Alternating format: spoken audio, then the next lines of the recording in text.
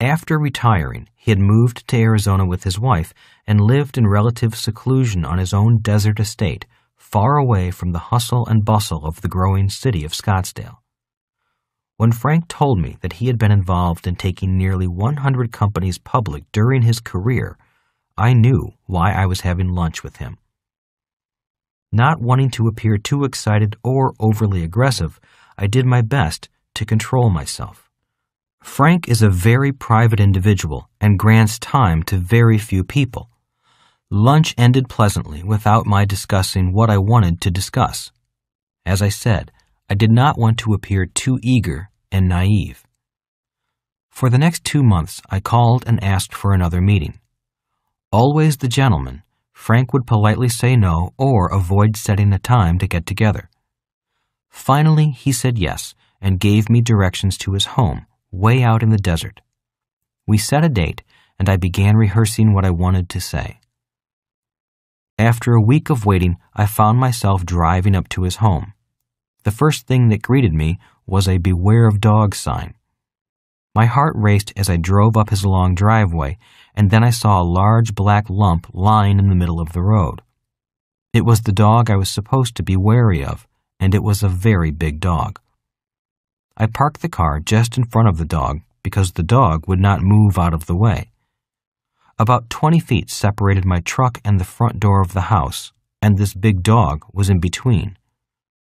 I opened the door of my truck slowly until I realized the dog was sound asleep. I slowly stepped down from the cab of the truck, but as soon as my foot hit the gravel, the dog suddenly came to life.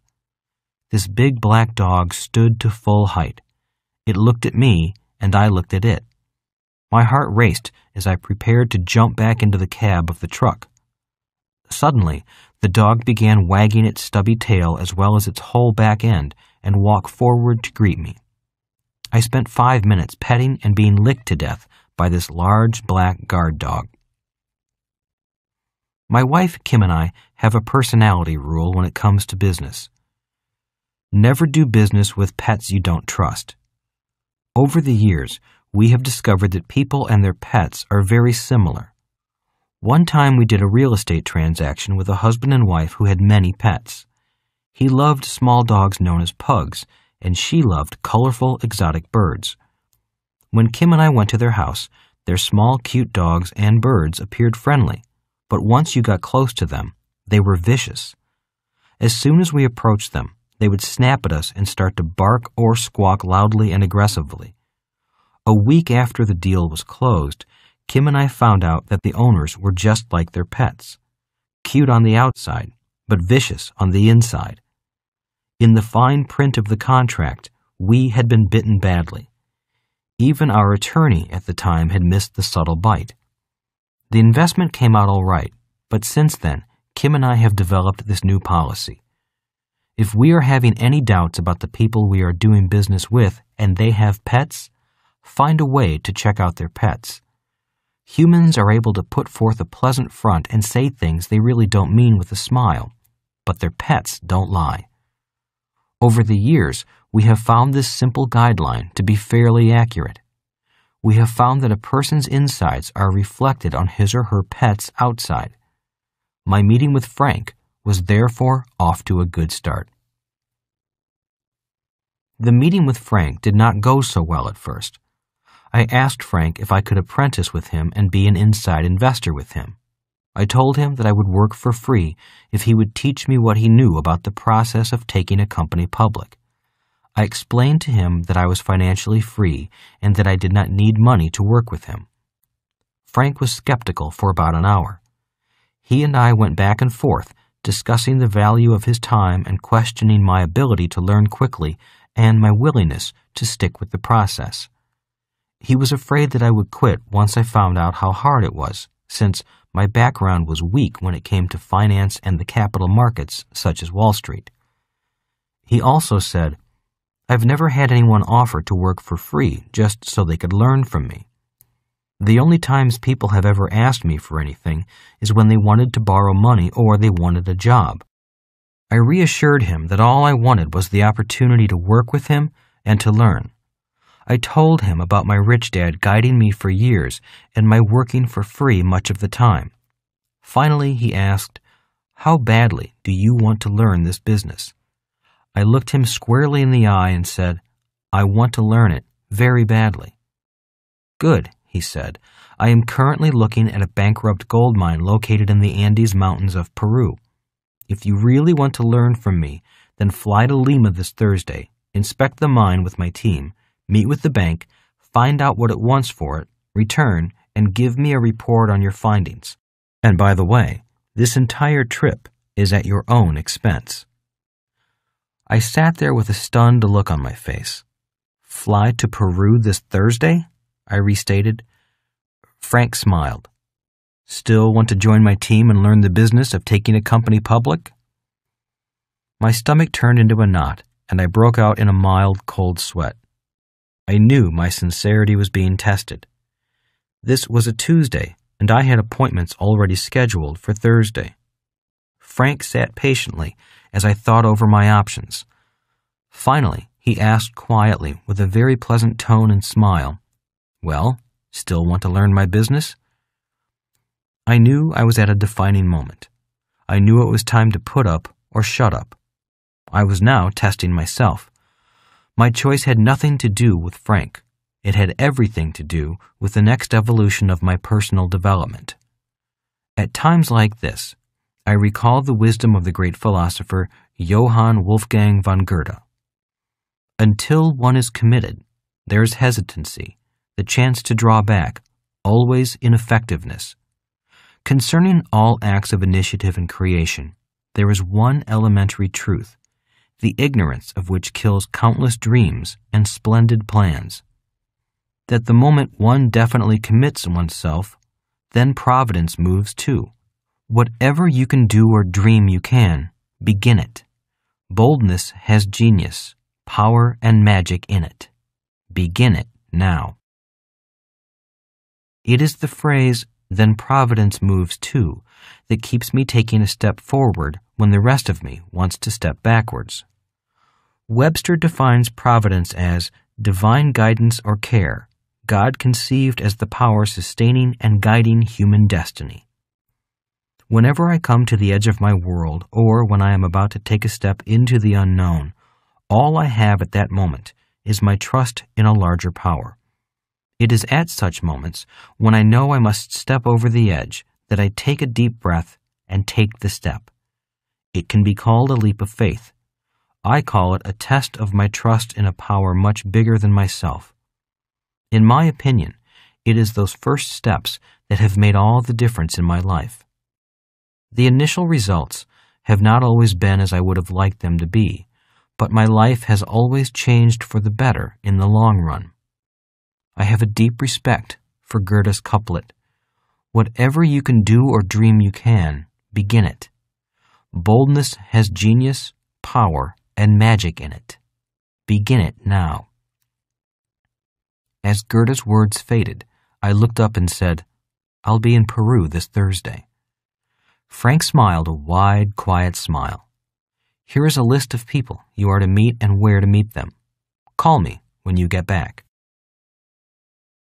This is not a recommendation. This is definitely not the path I would recommend for anyone wanting to learn to take a company public. There are smarter and easier paths. Yet this was the path that was laid out for me. Therefore, I will faithfully describe to you the process by which I came to achieve my goal. In my opinion, everyone must be true to his or her own mental and emotional strengths and weaknesses. I am simply relating the process I went through once I knew the next direction in my life. It was not mentally hard, but it was emotionally challenging, as most significant changes in life tend to be. Rich Dad often said, an individual's reality is the boundary between self confidence and faith. He would then say, the boundaries of a person's reality often do not change until that person forsakes what he or she feels confident in and then goes blindly with faith. So many people do not become rich because they are limited by their self confidence rather than the limitlessness of faith. On that Thursday in the summer of 1996, I was on my way to the Andes Mountains to inspect a gold mine that was once mined by the Incas and then the Spaniards. I was taking a bold step of faith into a world I knew nothing about. Yet, because of that step, a whole new world of investing opened up to me. My life has not been the same since I decided to take that step.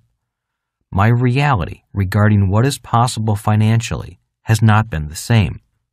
My reality on how rich a person can become has expanded. The more I continue working with Frank and his team, the further those limits to wealth expand. Today, I continue to expand my limits, and I can hear my rich dad say, a person is limited only to his or her reality of what is possible financially. Nothing changes until a person's reality changes. And a person's financial reality will not change until he or she is willing to go beyond the fears and doubts of his or her own self imposed limits. Frank kept his word. Upon returning from the trip, I reported back to Frank. The mine was a great mine with strong and proven veins of gold, but it had financial problems as well as many operational challenges. I recommended against acquiring it because the mine had severe social problems and had severe environmental problems that would have cost millions to clean up. In order to make the mine operate efficiently, any new owners would have to downsize the workforce by at least 40%. It would destroy the town's economy. I said to Frank, For centuries, these people have lived there at 16,000 feet above sea level.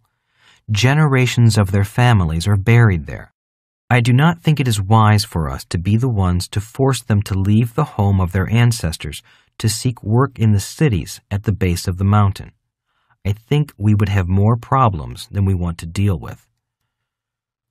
Frank agreed with my findings and, more importantly, agreed to teach me. We were soon looking at mines and oil fields in other parts of the world, and a new chapter in my educational process began. From the summer of 1996 to the fall of 1997, I worked as an apprentice to Frank.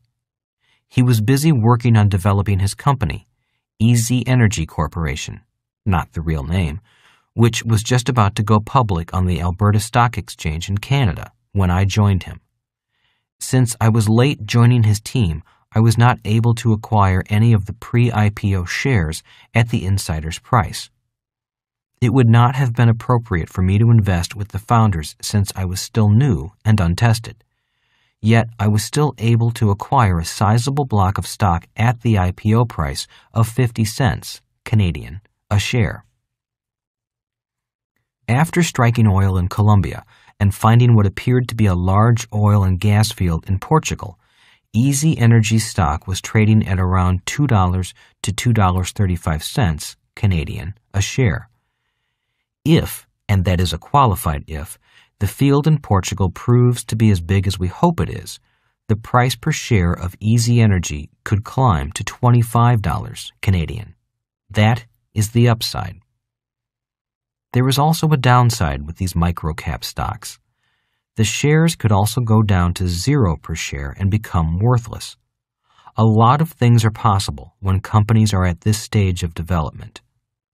Although Easy Energy is a very small company, the increase in value for what Frank calls the front money investors could be significant. These investors could potentially make a lot of money. These front money investors, pre IPO accredited investors, invested thousands of dollars based on Frank's reputation, the strength of the board of directors, and the business expertise of the oil exploration team. But there are no guarantees. In other words, in the beginning, this investment was all P, price, and no E, earnings. It was initially offered only to Frank's friends and his inner circle of investors. At this stage of the investment cycle, investors invest in the people on the team. The people, much more than the product, be it oil, gold, an internet product, or widgets, are far more important than any other part of the equation. The golden rule that money follows management is extremely important at this stage of a company's development. Rather than go into the hype, hopes, and dreams of this company, I think it best to quote you just the facts of this publicly traded company. The founders of the company put up their time and expertise in exchange for shares in the company. In other words, most of the founders work for free, investing their time and expertise in return for blocks of shares of stock. The value of their stock when issued is very small, so they have very little, if any, earned income. They work without pay, intending to increase the value of their stock, which will generate portfolio income rather than earned income. A few of the founders are paid a small salary for their services. They work for the bigger payoff, which comes if they do a good job of growing the company and making it more valuable. Since most of the directors are not drawing a salary, it is in their best interest to increase and keep increasing the company's value.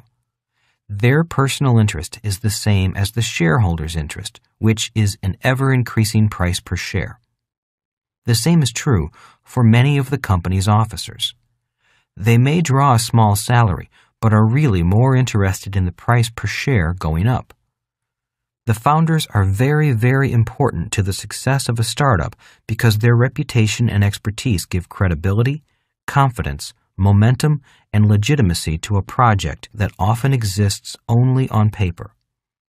Once the company is public and successful, some of the founders may resign, taking their stock with them. A new management team replaces them, and the founders move on to another startup, repeating the process. History of Easy Energy The following is a sequence of events that occurred after the company was founded. 1. Front money investors put up $25,000 US for 100,000 shares, or 25 cents per share. At this stage, the company had a tentative plan but owned no exploration leases. There were no assets. Front money investors invested in management. 2. The shares currently trade in range between $2 and $2.35 Canadian per share. 3.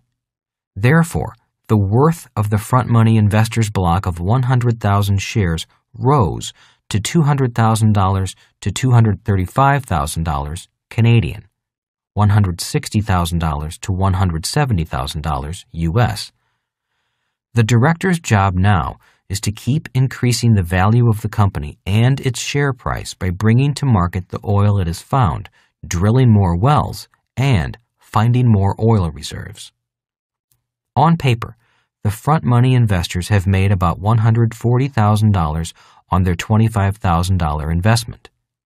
They have been in the deal for five years, so their annual rate of return would be 45% if they could sell their shares. 4. The problem for the investors is that the company is small and the shares are very thinly traded. An investor with 100,000 shares would be hard pressed to sell 100,000 shares all at once without seriously depressing the price of the stock. So the valuation of the entire block of stock is, in many ways, a paper valuation at this time. If things go as planned, the company will grow and more people will begin to follow the company and the stock. Buying and selling larger blocks of these shares should then become easier. Due to the good news of the discoveries, most large block investors are holding on to their shares rather than selling. Why a Canadian exchange? When I first began working with Frank, I asked him why he used the Canadian exchanges rather than the more well known NASDAQ or Wall Street. In America, the Canadian exchanges are often treated as the Rodney Dangerfields of the North American securities industry. Yet Frank uses the Canadian exchanges because 1. The Canadian exchanges are the world leaders for financing small natural resource companies Frank uses them because he primarily develops these types of companies. Frank is like Warren Buffett, who tends to stay with businesses he understands. I understand oil and gas, silver and gold, Frank says. I understand natural resources and precious metals. If Frank were to develop a technology company, he would probably list it on an American exchange. 2. NASDAQ and Wall Street have gotten too big for a small company to gain any attention there. Frank said, When I started in this business in the 1950s, a small company could gain some attention from the brokers on the major exchanges. Today, Internet companies, many without any earnings, are commanding more money than many larger, well known industrial age companies. Hence, most larger brokerage houses are not very interested in small companies that need to raise only a few million dollars. Brokerage houses in America are interested primarily in offerings of $100 million or more. 3. The Canadian exchanges let the small entrepreneurs stay in the business. I think Frank uses Canadian exchanges mainly because he is retired. He often says, I don't need the money, so I don't need to build a big company to make a big score. I just enjoy the game, and it keeps me active. Where else can my friends get into an IPO play for only $25,000 for 100,000 shares of stock? I do this because it's still fun. I love the challenges, and the money can be rewarding. I love starting companies, taking them public, and watching them grow. I also love having my friends and their families become rich. Frank offers a word of caution. Just because the Canadian exchanges are small does not mean that anyone can play their game. Some of the Canadian exchanges have gained a shaky reputation due to past transactions. To work with these exchanges, a person should be very familiar with the ins and outs of taking a company public. 4. The good news is that the Canadian system of stock exchanges appears to be tightening up on regulations, which are being enforced more closely. In a few years, I think that Canadian exchanges will grow as more and more small companies from all over the world look to the smaller exchanges to raise the capital they need. Beware of the stock promoter. In the few years I have been actively involved in this business, I have come across three individuals who had the right credentials as well as the right letters after their name, told a great story, raised tens of millions of dollars, and had absolutely no idea how to start a business and build one from scratch.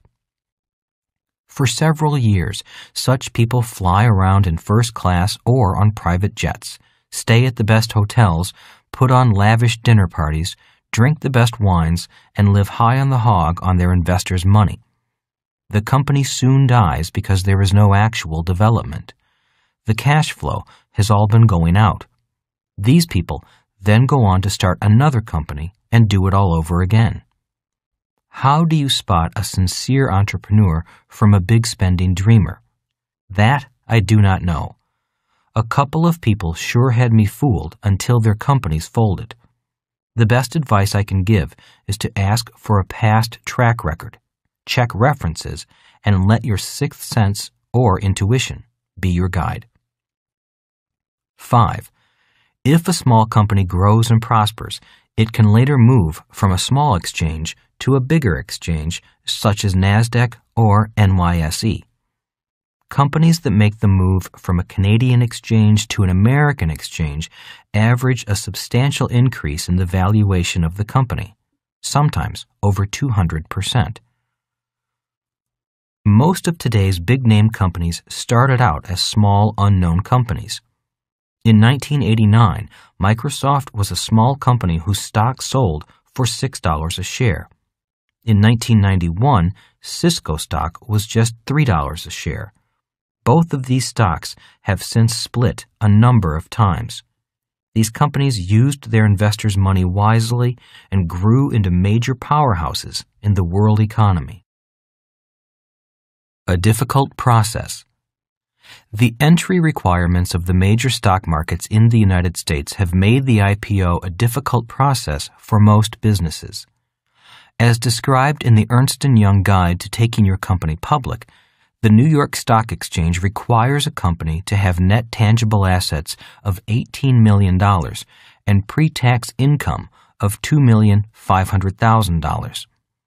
the American Stock Exchange requires a stockholder's equity of $4 million and a market value of the IPO to be a minimum of $3 million. And the NASDAQ national market requires net tangible assets of at least $4 million and a market value of the IPO to be a minimum of $3 million. Many small to medium companies that cannot meet these qualifications look for reverse merger opportunities, which allow them to merge with an existing public company. Through that process, the company can become a publicly traded company by taking control of the newly combined public company. Companies may also look to other foreign exchanges, like the Canadian exchange, where the entry requirements are not as severe. Who buys Canadian? During one of my talks on investing in Australia some time ago, a member of the audience questioned my sanity at investing in precious metals and oil. He asked, If everyone else is in high tech and internet stocks, why are you working on the dogs of the economy? I explained that it is always less expensive to be a contrarian investor, which is an investor who seeks out of favor or out of cycle stocks. A few years ago, I said, when everyone was into gold, silver, and oil, the prices of the exploration leases that make up these startups were very high. It was very difficult to find a deal at a good price. Now that the prices of oil, gold, and silver are down, finding good properties is easy, and people are more willing to negotiate because these commodities are out of favor the price of oil is now rising, making the shares in our oil company much more valuable. Also during this period, Warren Buffett announced that he was taking a sizable position in silver. In February 1998, the billionaire investor disclosed that he had acquired 130 million ounces of silver and stored it in a warehouse in London.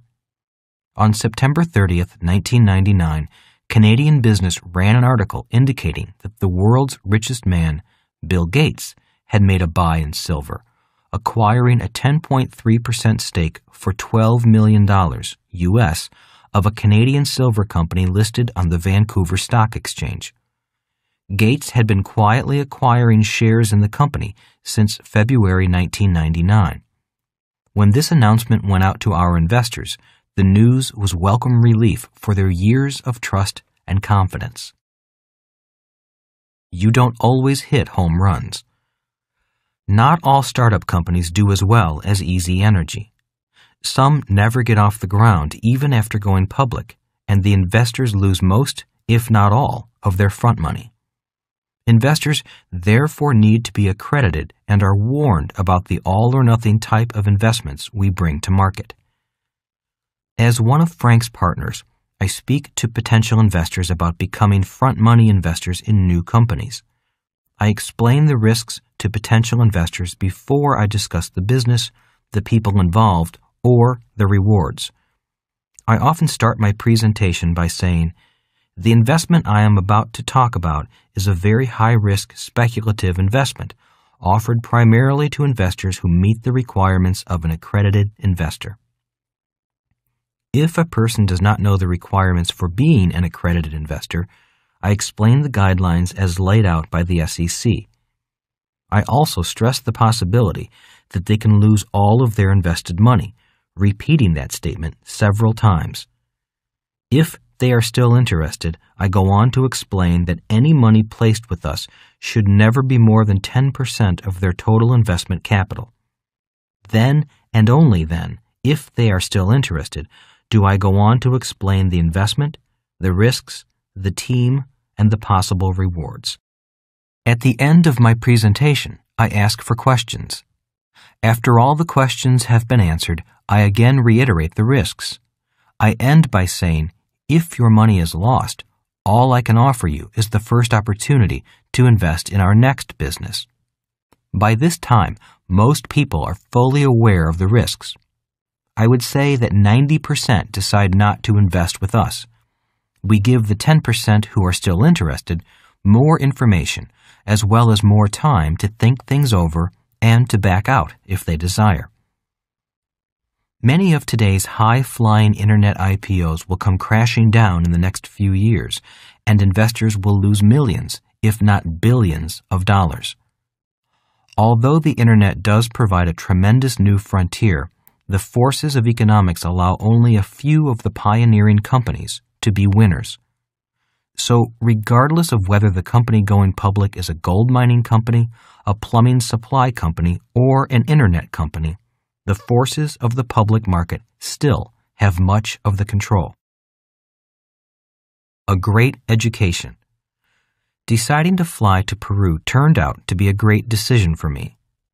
I have learned as much from being Frank's student and partner as I did from my rich dad. After I put in about a year and a half as an apprentice to Frank and his team, he offered me a partnership in his private venture capital company. Since 1996, I have gained the experience of a lifetime watching Easy Energy Company go public and develop into a viable company that someday may become a major oil company. I have not only become a wiser business person because of my association, but I have also learned a great deal about how stock markets work. One of my policies is to invest five years in the learning process. My gains so far may be all paper gains, yet the business and investment education has been priceless. Maybe someday in the future, I will build a company to take public on an American exchange. Future IPOs. Frank and his private venture capital team developed three other companies to bring to the public market a precious metals company that secures leases in China, an oil company that secures oil and gas leases in Argentina, and a silver company that acquires leases in Argentina. The company that took the longest to develop was the Chinese Precious Metals Company.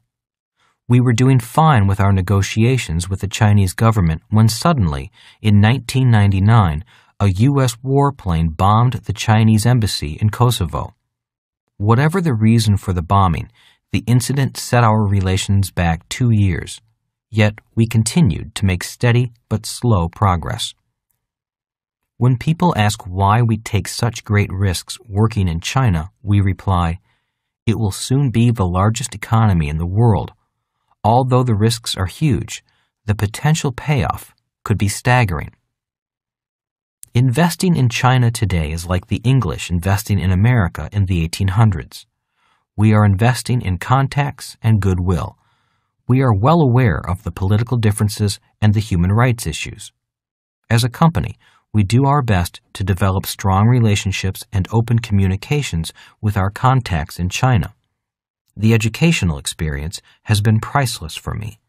It is like being a part of history.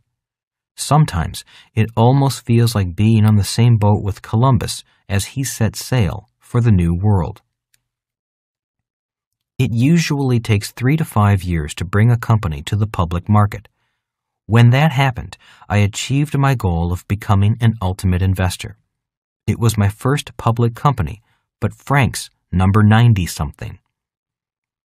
Given the risk involved, every one of these projects could have failed and never gone public.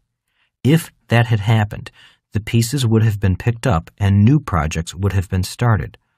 Our investors know the risks involved and also know that their investment plan is to put a little money in several of these smaller ventures.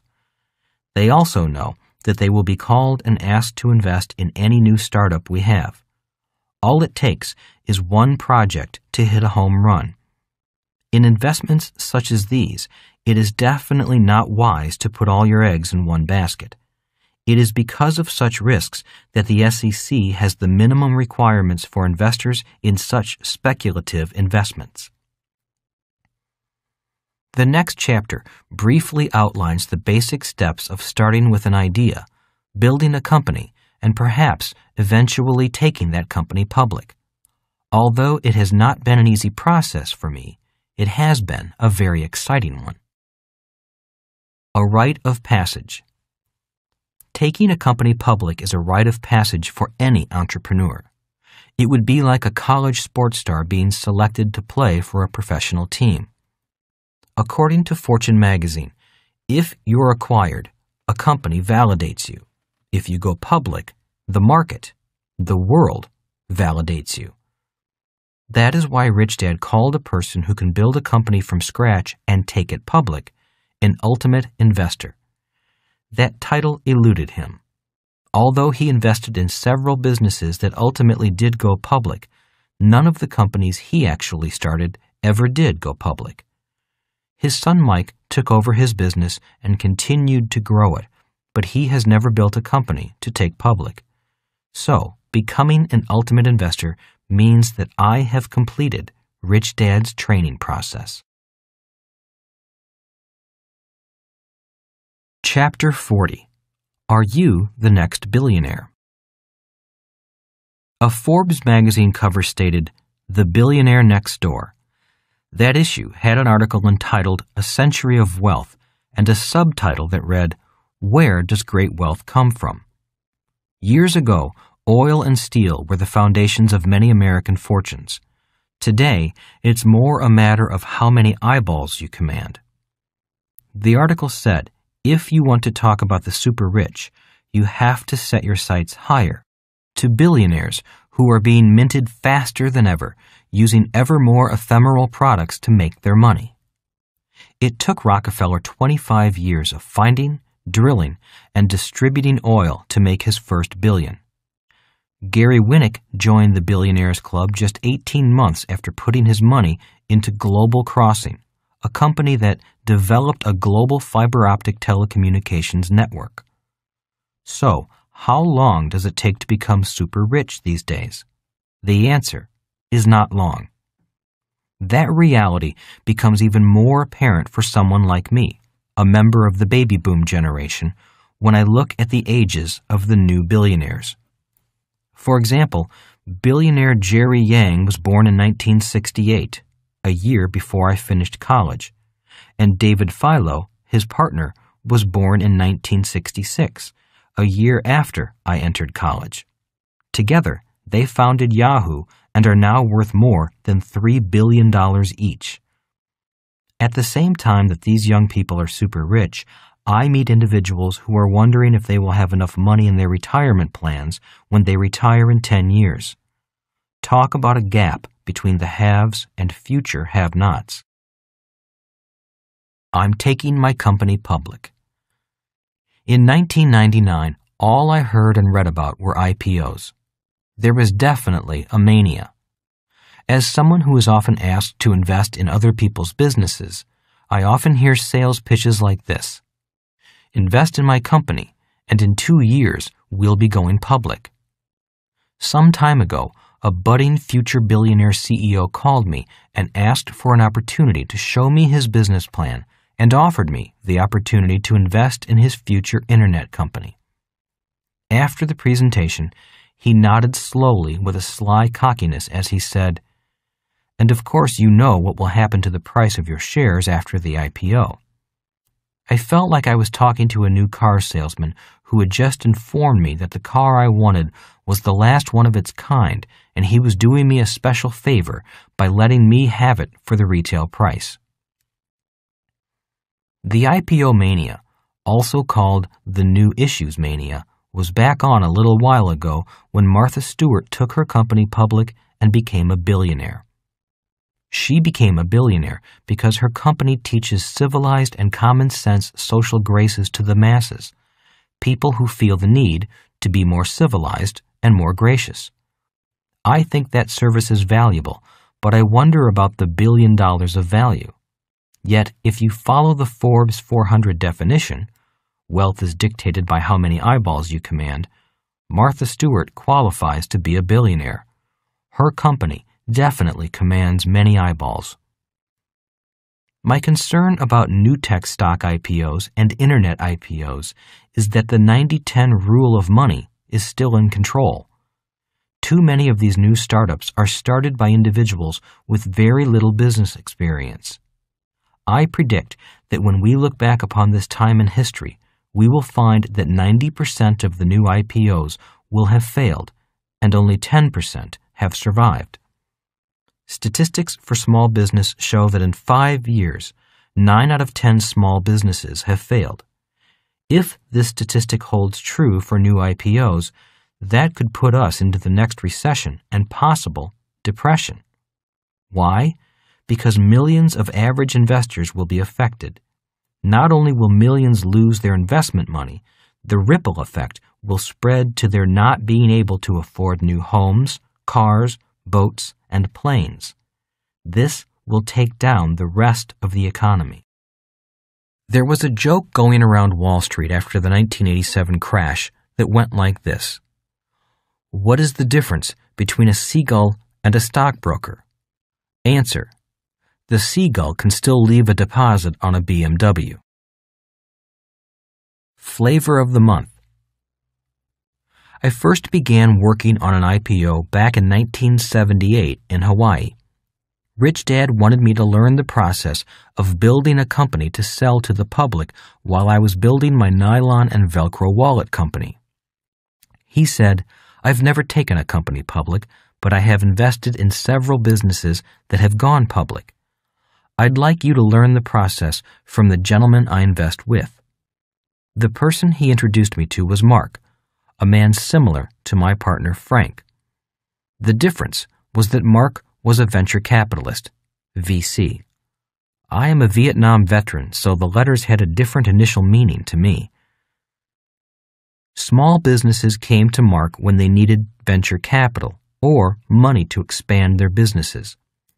Since I needed lots of money to expand, Rich Dad encouraged me to meet with him and learn from his point of view. It was not a pleasant meeting. Mark was far tougher than my rich dad. He looked at my business plan and my actual financial statements and listened for about 23 seconds to my glorious plans for the future. Then he began to tear me apart. He told me why I was an idiot, a fool, and completely out of my league. He told me that I should never have quit my daytime job and that I was lucky my rich dad was his client. Otherwise, he would never have wasted any time on someone so incompetent. He then told me how much he thought my business was worth, how much money he could raise for it, his terms and conditions for the money, and that he would become my new partner with a controlling interest in the company. As I said, the term VC had a very familiar ring to it. In the business of IPOs, investment bankers, and VCs, there is a sheet of paper known as the term sheet. It is similar to the sheet of paper that real estate agents call the listing agreement. Simply put, a term sheet states the terms and conditions of the sale of your business, just as a listing agreement states the terms and conditions for the sale of your house. Just as in listing agreements with real estate, a term sheet is different for different people. In real estate, if you're selling just one little house in a bad neighborhood and you want a high price, the terms on the listing agreement will be tough and inflexible. However, if you are a real estate developer with thousands of homes to sell and the houses are nice, easy to sell, and priced low, the real estate agent is more likely to soften his or her terms in order to get your business. The same is true in the world of the VC. The more successful you are, the better terms you get, and vice versa. After looking at Mark's term sheet, I felt his terms were too severe. I definitely did not want to give him 52% of my company to end up working for him in the company I started. Those were his terms. I am not blaming Mark, and in retrospect, maybe I should have taken those terms.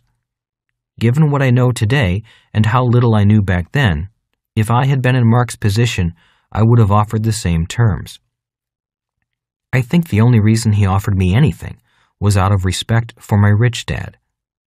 I was a new business person and I was successfully incompetent. I say successfully incompetent because I had a growing company, but I was not able to manage its growth. Although Mark was tough, I liked him and he seemed to like me. We agreed to meet regularly, and he agreed to give me free advice as I grew. His advice might have been free, but it was always tough. He eventually began to trust me more as my knowledge and understanding of business grew. I even worked with him briefly on an oil company he was bringing to the public market. Working with him on that oil company in 1978, I got my first taste of the excitement that comes from working on an IPO.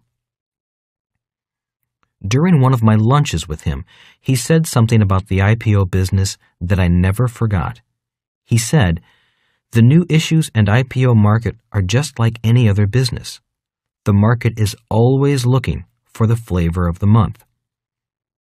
Mark was saying that, at certain times, the stock market favors certain businesses more than others.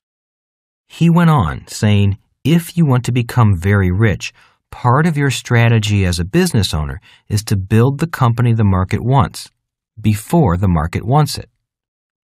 Mark went on to explain that history makes famous the pioneer who has the business that is the flavor of the month. He said that inventions such as television created new millionaires, just as oil and cars made billionaires at the start of the 20th century. Mark's concept of the progression of wealth is in line with that seen in this abbreviated list from Forbes magazine.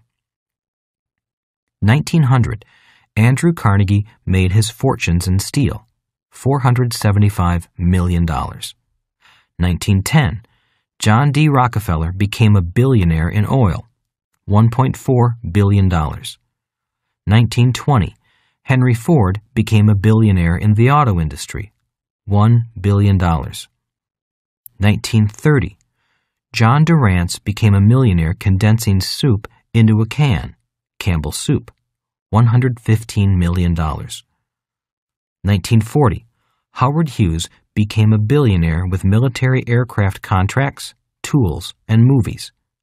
$1.5 billion. 1950, Arthur Davis became a millionaire in aluminum. $400 million. 1960, H. Ross Perot founded EDS. 1962, $3.8 billion. 1970, Sam Walton took retailing giant Walmart public, $22 billion. 1980, Ron Perelman made his fortune as a Wall Street dealmaker, $3.8 billion. 1990, Jerry Yang co founded Yahoo, $3.7 billion. Obsolete at 35. I did not work with Mark after 1978. As he predicted, my business success had begun to sour and I had massive internal problems in my company. I therefore had to put all my attention into my business rather than spend time trying to take someone else's business public. However, I never forgot his lesson on businesses as the flavor of the month. As I plod along, continuing to gain my fundamental business experience, I often wonder what the next business flavor of the month will be. In 1985, I stopped by the Marine base at Camp Pendleton, California, where I had been stationed in 1971, just before going to Vietnam. My friend and fellow pilot was now the commanding officer of the squadron on the base. Kim and I were shown around the squadron where Jim and I had been new pilots 14 years earlier. Walking onto the flight line, Jim showed Kim an aircraft that looked like the ones he and I flew in Vietnam. Opening up the cockpit, he told me, You and I are now obsolete. We are not able to fly these aircraft. He said that because the instruments and controls were now fully electronic and video oriented. Jim continued, saying, These new pilots grew up in video arcades. You and I grew up on pinball machines and pool tables. Our brains are not the same as theirs. That is why they fly and I sit behind a desk. I am obsolete as a pilot. I remember that day clearly because I too felt obsolete then. I felt old and out of date at age 37. I remember thinking that my own dad was obsolete by age 52, and here I was, obsolete by age 37. On that day, I fully realized how fast things were changing. I also realized that if I did not change myself as rapidly, I would be left further and further behind.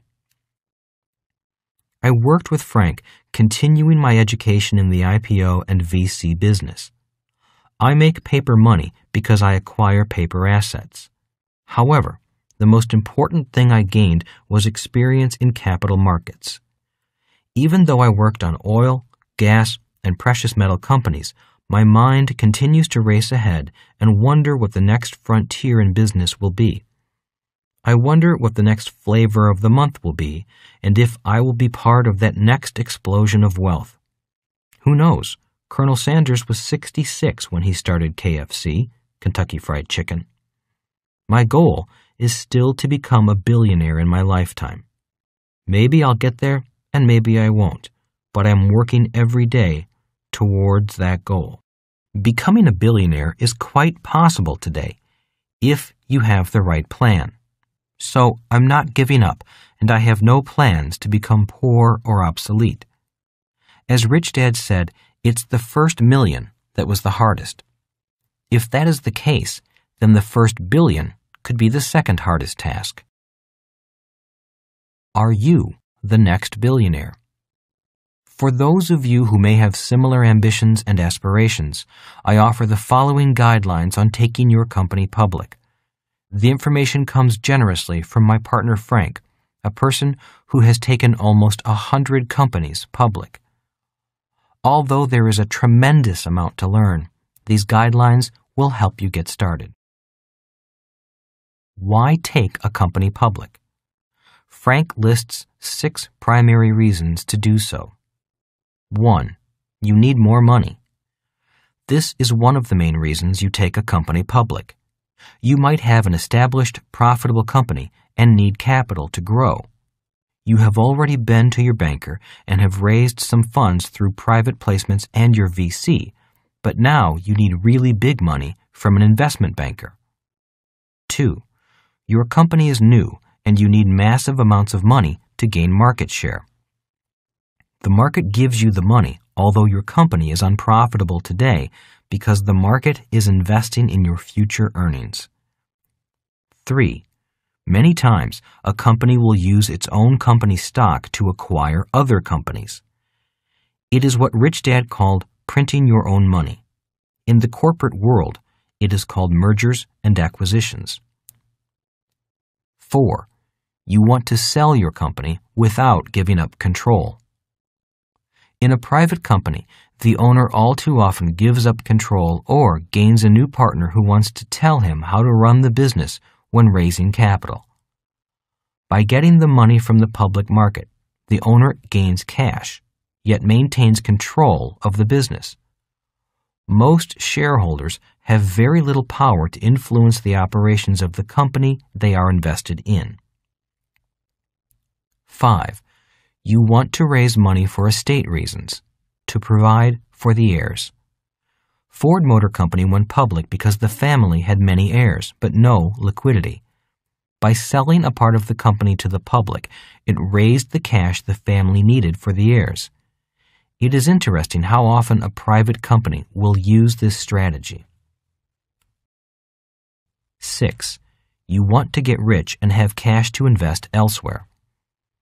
Building a business is much like building an apartment house and selling it.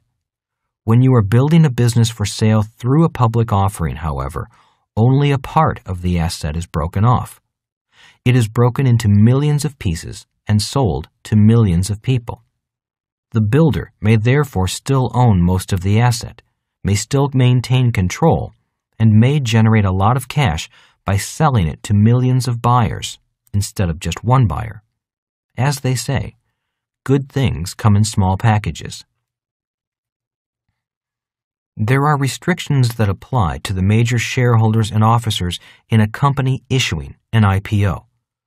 While their holdings in the company may increase dramatically in value as a result of the IPO, they are severely regulated when selling any of their shares. Their stock is usually called restricted, which means they have agreed not to sell it for a predetermined amount of time.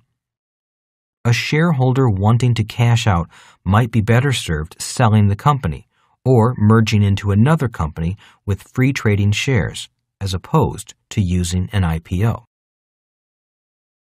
Additional points to consider. Frank offers these additional considerations to keep in mind before taking a company public. Who on the team has run a business? There is a big difference between running a business and dreaming of a new product or a new business. Has the person handled payroll, employees, tax issues, legal issues, contracts, negotiations, product development, cash flow management, raising capital, and so on?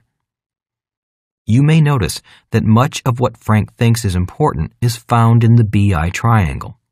Therefore, the core of the question is Are you, or someone on the team, successful at managing the entire BI triangle? How much of the company do you want to sell? This is where term sheets come in.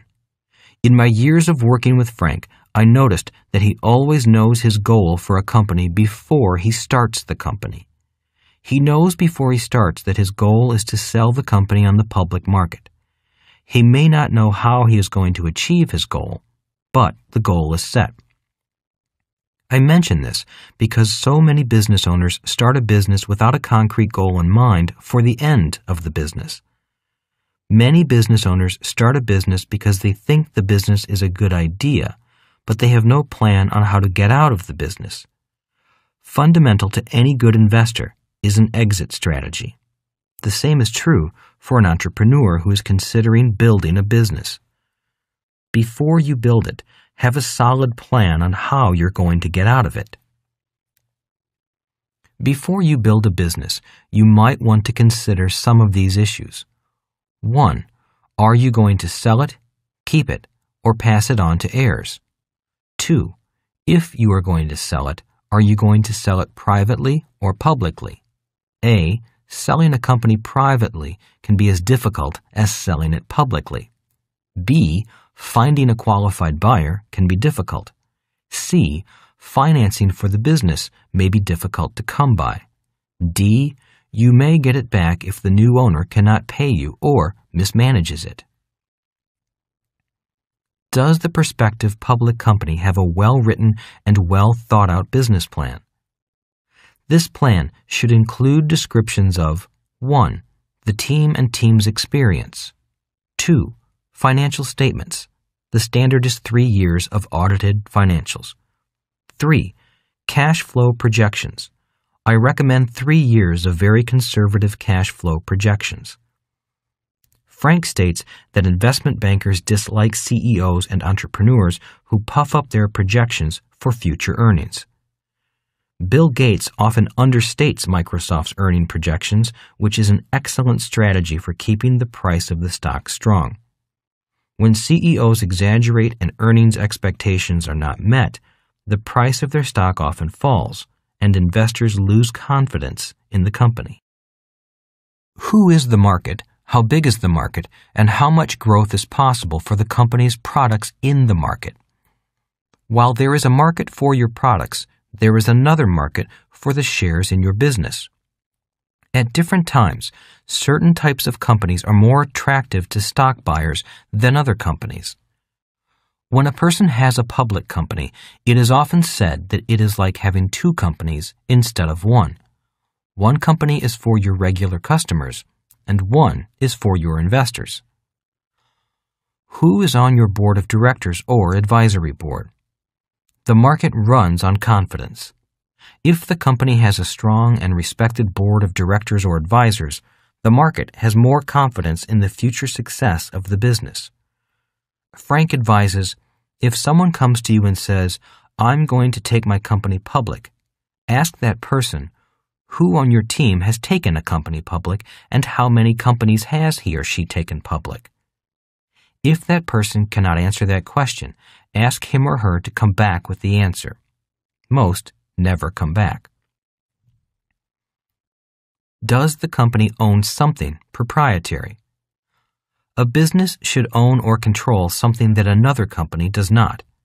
It could be a patent on a new product or drug, a lease of ground in an oil field, or a trademark such as Starbucks or McDonald's. Even people who are owners and respected experts in their field can be considered assets. Examples of people being assets are Martha Stewart, Steve Jobs when he started his Apple Computer Company, and Steven Spielberg when he formed his production company. People invested in these people because of their past success and future potential. Does the company have a great story to tell? I am sure Christopher Columbus must have told a great story to his underwriters, the King and Queen of Spain, before they raised the capital for him to sail off to the ends of the earth. A great story must interest, excite, and cause people to look into the future and dream a little. There should also be integrity behind the story, because our jails are filled with great storytellers who have no integrity.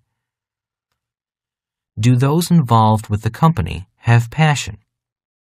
This is the most important thing that Frank looks for. He says that the first and last thing he looks for in any business is the passion of the owner, the leaders, and the team. Frank says, without passion, the best business, the best plan, and the best people will not become successful. Here is an excerpt from Fortune magazine's article on the 40 richest people under 40. MBAs don't fit into the Silicon Valley scene. MBAs are traditionally risk averse. The reason most people go to business school is to ensure getting a six figure job after graduation. Valley veterans look at B school people and don't see the fire in the belly they themselves had when they were romantic renegades. MBAs look at Silicon Valley and see something far different from what they were taught in business school. Michael Levine joined eBay after graduating from Berkeley's Haas School. The former investment banker does not speak with the same passion displayed by hardcore entrepreneurs. He also works shorter hours than most, 60 per week instead of the customary 80. I'd love it if in 10 to 15 years I had 10 million to 15 million dollars well invested, he told me. But I'd like to have a life. I don't know. Maybe I'm not there yet. Rich Dad would say that he was definitely not there yet. Rich Dad often cautioned me to be aware of the difference between successful corporate people and successful entrepreneurs. He would say, There is a difference between a person who climbs the corporate ladder and someone who is building his own corporate ladder. The difference is in the view when you look up at the ladder. One sees the big blue sky and the other sees, well, you know that saying. If you're not the lead dog, the view is always the same. How do you raise money? Frank discusses four sources of money. 1. Friends and family.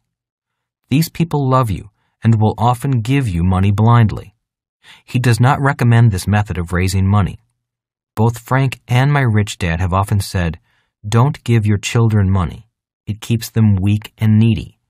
Teach them how to raise money instead. Rich Dad took the issue of money one step further. As you may recall, he did not pay his son and me a salary for working for him. He said, Paying people to do work is training them to think like employees. Instead, he trained us to look for business opportunities and to create a business out of that opportunity. You may recall the comic book story in the Rich Dad Poor Dad book where I discovered that older comic books were being taken off the shelf and destroyed by the store. I saw an opportunity to start a business by saving those comic books and creating a library where kids could rent the comics to read for a small fee and then return them. I continue to do the same thing today. I look around for opportunities to build a business while others look for high paying jobs. Rich Dad did not make being an employee wrong. He loved his employees. He was just training his son and me to think differently and to be aware of the differences between a business owner and other positions. He wanted us to have more choices as we grew older rather than fewer. We created the Cash Flow for Kids board game for parents who want to give their kids more financial choices and keep them from being trapped in debt as soon as they leave home. It was created for parents who may suspect that their children could be the next Bill Gates of Microsoft or the next Anita Roddick of The Body Shop. the game provides an early financial education on cash flow management that every entrepreneur needs. Most small businesses fail because of poor cash flow management. Cash Flow for Kids will teach your children the skill of cash flow management before they leave home. 2. Angels. Angels are rich individuals who have a passion to help new entrepreneurs. Most major cities have angel groups that support budding new entrepreneurs financially, as well as provide advice on how to become rich, young entrepreneurs. Angels realize that it's important for a city to have growing young businesses. Thriving entrepreneurial spirit in a city will keep the city thriving as well. These angels provide a vital service for any city of any size. Many young people leave small towns to look for great job opportunities in a bigger city. I think that this loss of smart young talent is caused by our schools teaching young people to look for jobs.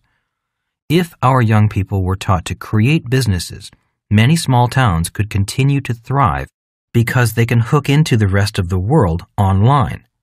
With the internet, it's possible for even the most remote towns to bring the entrepreneur's spirit to life. Groups of private citizens operating as angel groups could do wonders to revitalize small towns everywhere. When you look at what Bill Gates did for Seattle, Washington, and what Michael Dell did for Austin, Texas, you can see the power of entrepreneurial spirit. Entrepreneurs and angels both play important roles in the vitality of a city. 3. Private investors. People who invest in private companies are called private investors. These accredited investors are hopefully more sophisticated than the average investor. They stand to gain, as well as lose, the most.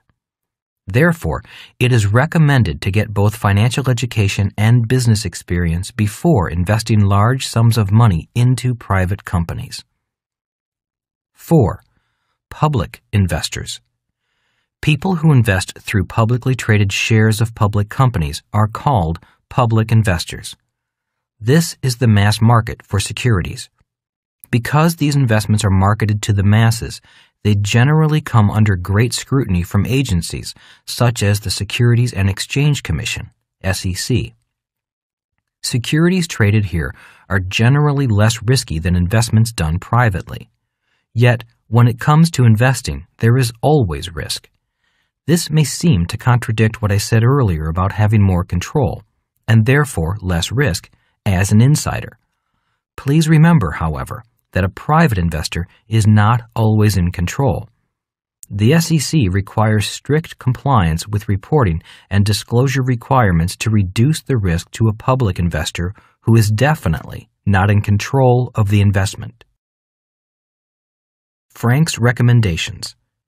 As I was interviewing Frank on the main points of taking a company public, I asked him what he would recommend for a person who wanted to learn to raise substantial sums of capital.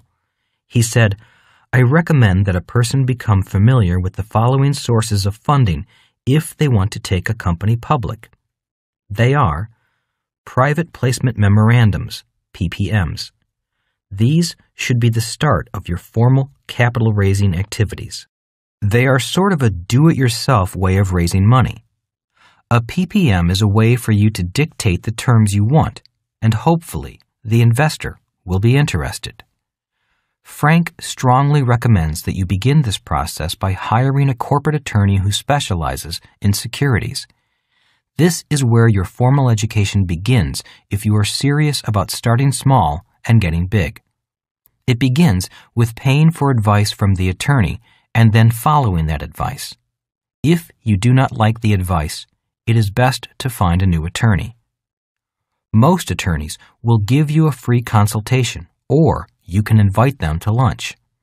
This type of professional advisor is vital to your team at the beginning and as you get bigger. I personally have learned the hard way by trying to do such things on my own to save a few dollars.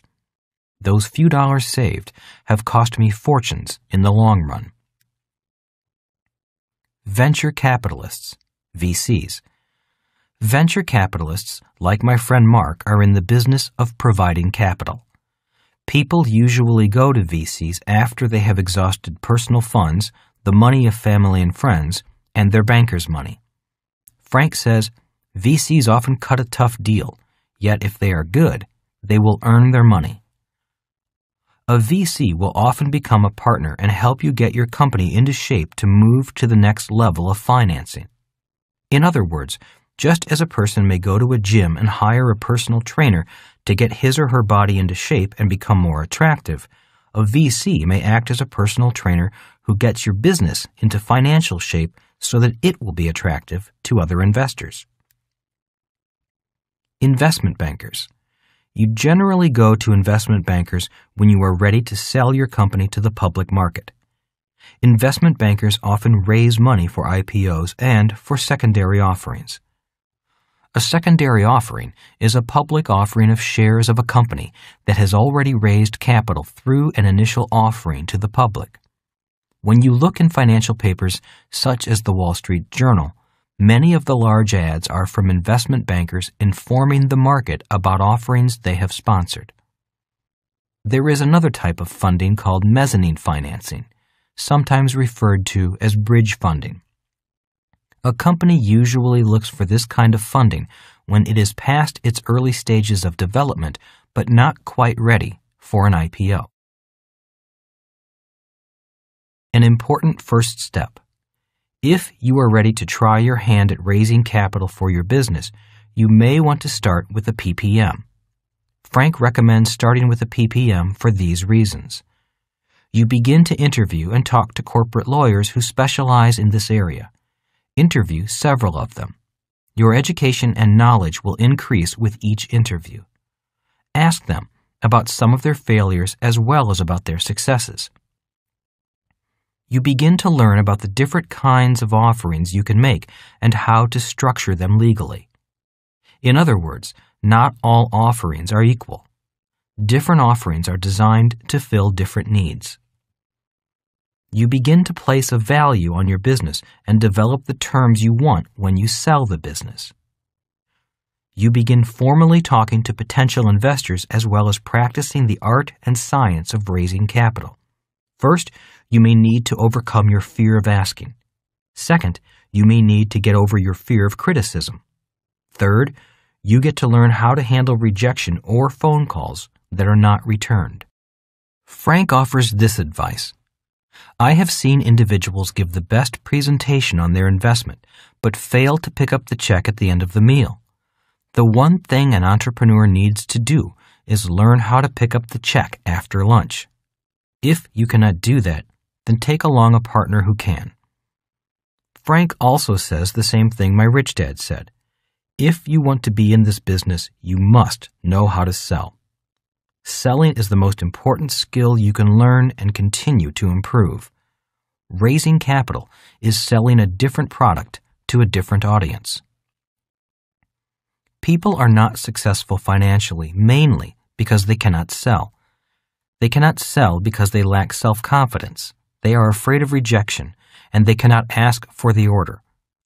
If you are serious about becoming an entrepreneur and need more sales and confidence development, I strongly recommend that you find a network marketing company with a good training program. Stick with it for at least five years and learn to be a confident salesperson. A successful salesperson is not afraid of approaching people, is not afraid of being criticized or rejected, and is not afraid of asking for the check. Even today, I continue to work on overcoming my fear of rejection improving my ability to handle disappointment, and finding ways to improve my bouts of low self esteem. I have noticed a direct correlation between my ability to handle those obstacles in my life and my wealth. In other words, if those obstacles appear overwhelming, my income goes down. If I overcome those obstacles, which is a constant process, my income goes up how to find someone like Frank or Mark to advise you. After you have gained some fundamental business experience and have achieved a degree of success, and you think you are ready to bring your business to market, you will need specialized advice. The advice and guidance I received from Frank, an investment banker and Mark, a VC, have been priceless. That advice has created worlds of possibilities that did not exist for me before. When you are ready, get a copy of Standard & Poor's Security Dealers. This book lists security dealers by state. Get the book and find a person who would be willing to listen to your ideas and your business. Not all are willing to give free advice, but some are. Most are busy and do not have time for hand-holding if you are not ready. I therefore suggest getting some real-life business experience and having success under your belt before finding out who would be willing to be part of your team. So, are you the next billionaire? Only one person can answer this question. You. With the right team, the right leader, and a bold and innovative new product, anything is possible. Right after I knew that achieving my goal of making my first $1 million was possible, I began thinking about setting the next goal. I knew I could go on to make $10 million doing things much the same way. However, $1 billion would require new skills and a whole new way of thinking. That is why I set the goal despite continuing to come up against much personal self doubt. Once I had the nerve to set the goal, I began to learn how others had made it. If I had not set the goal, I would not have thought it a remote possibility, and I would not have come across books and articles about how so many people are achieving that goal. Several years ago, when I was deeply in debt, I thought becoming a millionaire was impossible. Therefore, in retrospect, I do not think actually achieving the goal is as important as writing down the goal and then going for it. Once I committed to the goal, my mind seemed to find the ways my goal could be possible. If I had said the goal of becoming a millionaire was impossible, I believe it would have become a self fulfilling prophecy. After I set the goal to become a billionaire, I was plagued with self doubt. However, my mind began to show me ways it was possible. As I focus on the goal, I continue to see how becoming a billionaire could be possible for me. I often repeat this saying to myself If you think you can, you can. If you think you can't, you can't. Either way, you're right. I don't know who the author is, but I thank that person for thinking it. Why is it possible to be a billionaire? Once I set my goal to become a billionaire, I began to find reasons you can become a billionaire today more easily than ever before. 1. The Internet is making a world of customers available to most of us. 2. The Internet is creating more business beyond the Internet. Just as Henry Ford created more business because his mass produced cars had a ripple effect, the Internet will likewise magnify its effect. The internet makes it possible for 6 billion of us to each become a Henry Ford or Bill Gates. 3. In the past, the rich and the powerful controlled the media. Now, with the internet, each of us has the power to control our own media sites. 4. New inventions breed more new inventions. An explosion of new technology will make other areas of our lives better. Each new technological change will allow more people to develop more new and innovative products. 5. As more people become more prosperous, they will want to invest more and more money into new startup businesses, not only to help the new business, but also to share in the profits. Today, it is hard for most people to grasp the reality that there are literally tens of billions of dollars looking for new innovative companies to invest in every year. 6.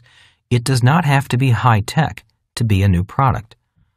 Starbucks made a lot of people rich with just a cup of coffee, and McDonald's became the largest holder of real estate with just a hamburger and fries. 7. The key word is ephemeral.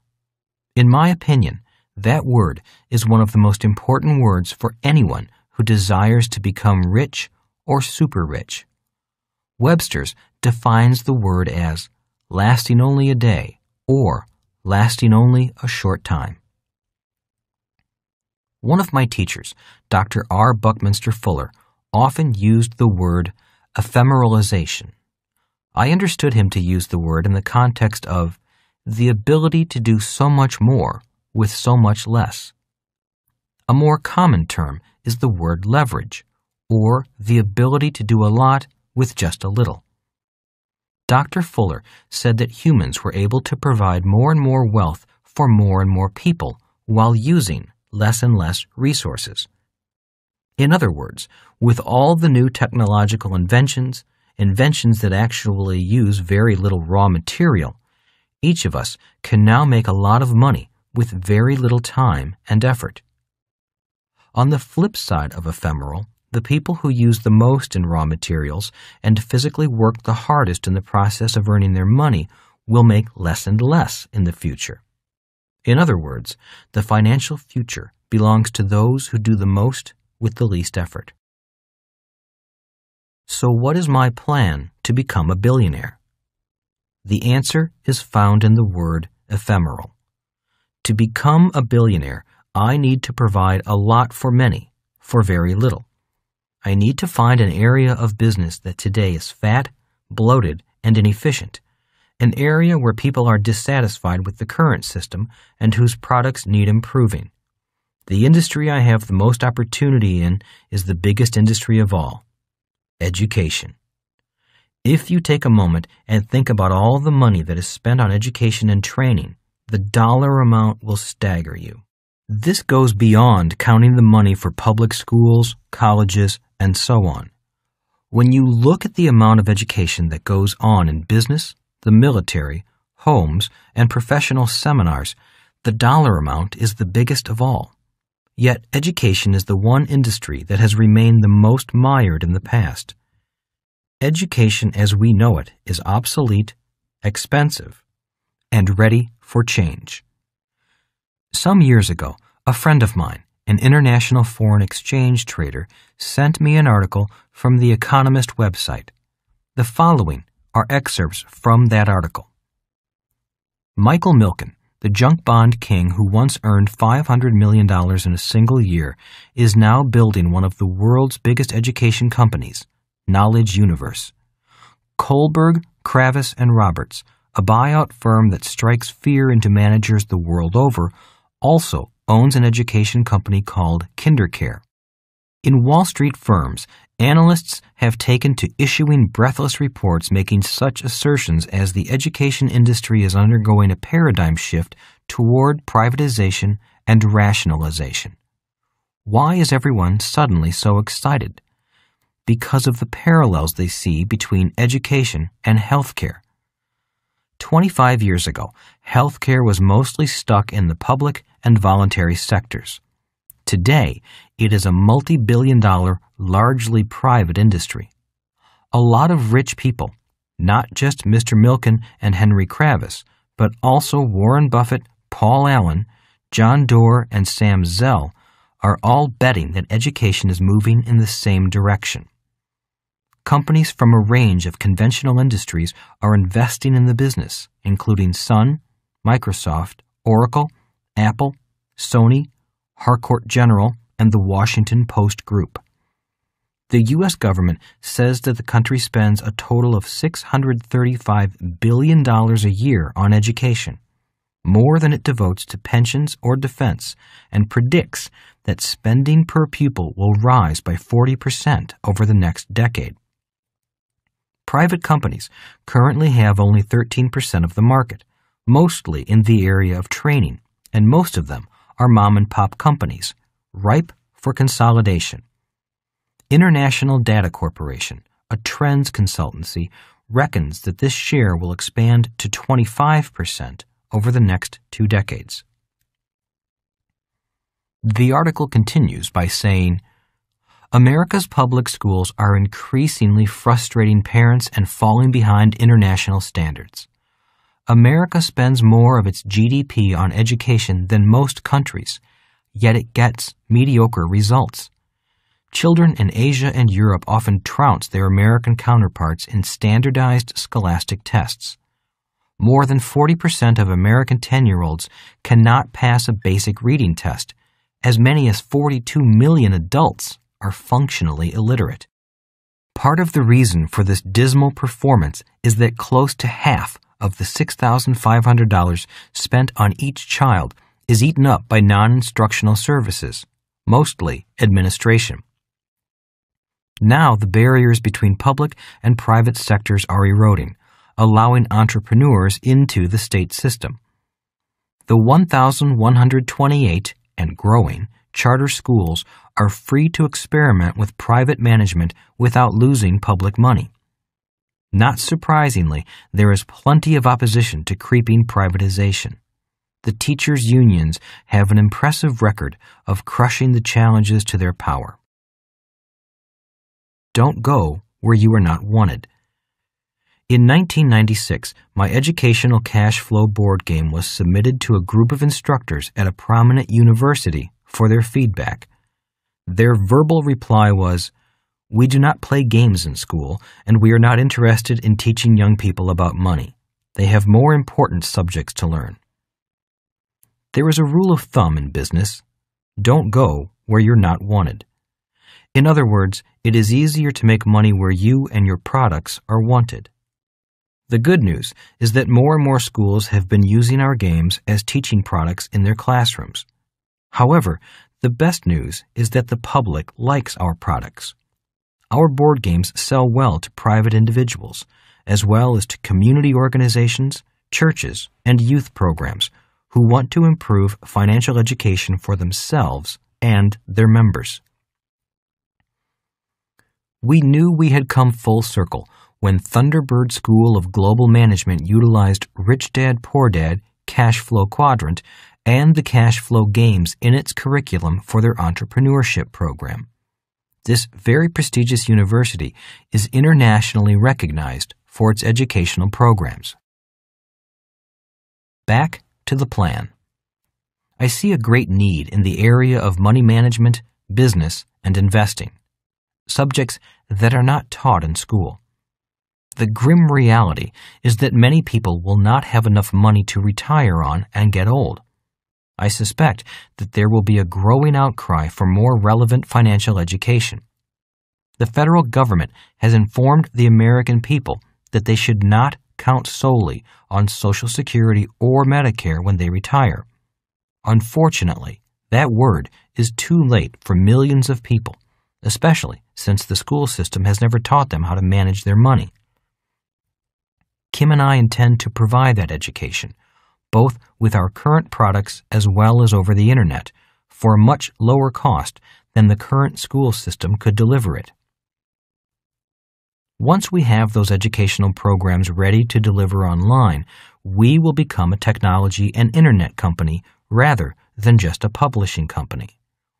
Once we can deliver our products in that ephemeral way, the value and multipliers on the value of our company will go up because we will be able to deliver a better product to our international market more conveniently and for much less money.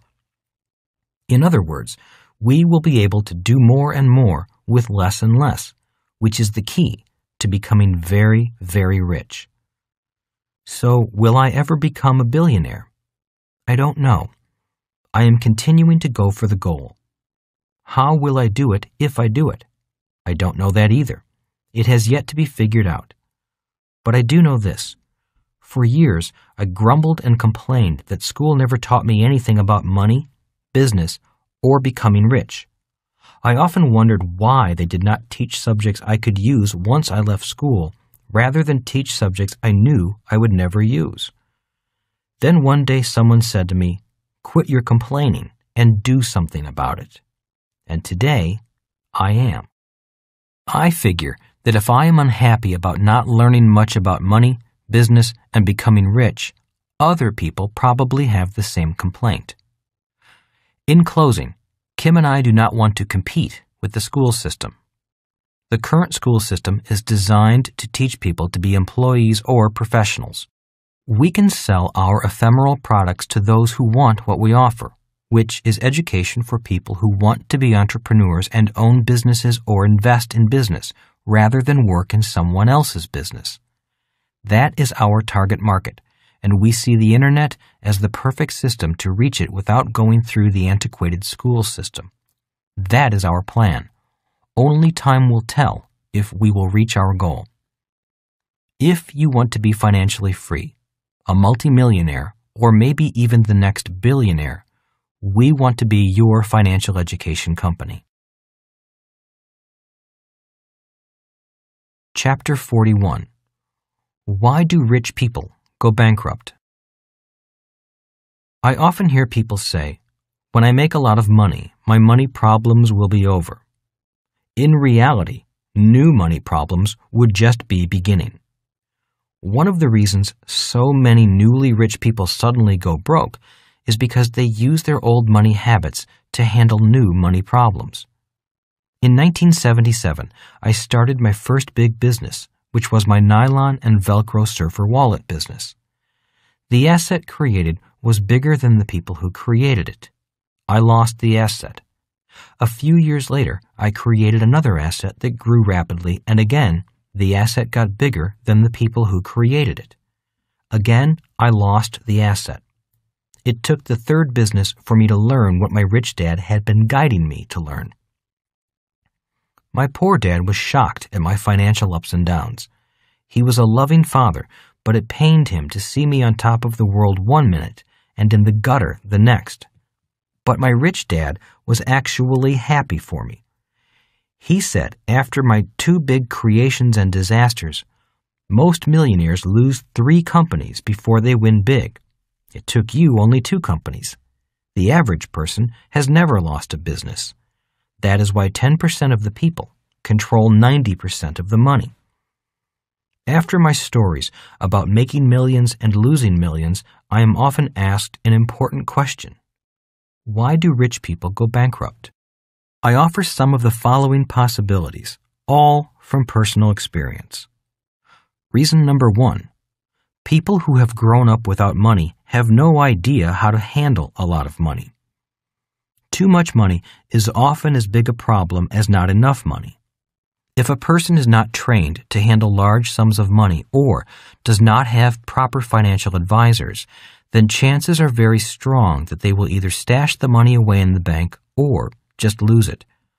As my rich dad said, money does not make you rich. In fact, money has the power to make you both rich and poor. There are billions of people each day who prove that fact. Most have some money, but they spend it only to get poorer or greater in debt. The problem again stems from people receiving money and then buying liabilities they think are assets. I am certain that in the next few years, many of today's young millionaires will be in financial struggle because of their lack of money management skills. Reason number two when people come into money, the emotional euphoria is like a drug that boosts your spirits. My rich dad said, when the money high hits, people feel more intelligent, when in fact, they are becoming more stupid. They think they own the world and immediately go out and start spending money like King Tut with tombs of gold. My tax strategist once said to me, I have been an advisor to many rich men just before they go broke after making a ton of money, they tend to do three things. One, they buy a jet or big boat. Two, they go on a safari. And three, they divorce their wife and marry a much younger woman. When I see that happening, I begin preparing for the crash. Again, much like reason number one, they buy liabilities or divorce an asset, which then creates a liability. Then they marry a new liability. They now have two or more liabilities. Reason number three. The hardest thing for many people is to say no to people they love when they ask to borrow money. This has not happened to me, but I have seen many families and friendships break up when one person suddenly becomes rich. As Rich Dad said, a very important skill in becoming rich is to develop the ability to say no to yourself and to the people you love. The people who come into money and begin buying boats and big houses are not able to say no to themselves, let alone their family members. They end up further in debt, just because they suddenly had a lot of money. Not only do people want to borrow money from you when you have money, but banks want to lend you more money. That is why people say banks lend you money when you don't need it.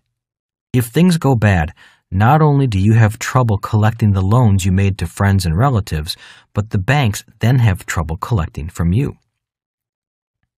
Reason number four the person with money suddenly becomes an investor with money, but without education and experience. Again, this goes back to Rich Dad's statement that when people suddenly have money, they think their financial IQ went up also, when in fact it has gone down.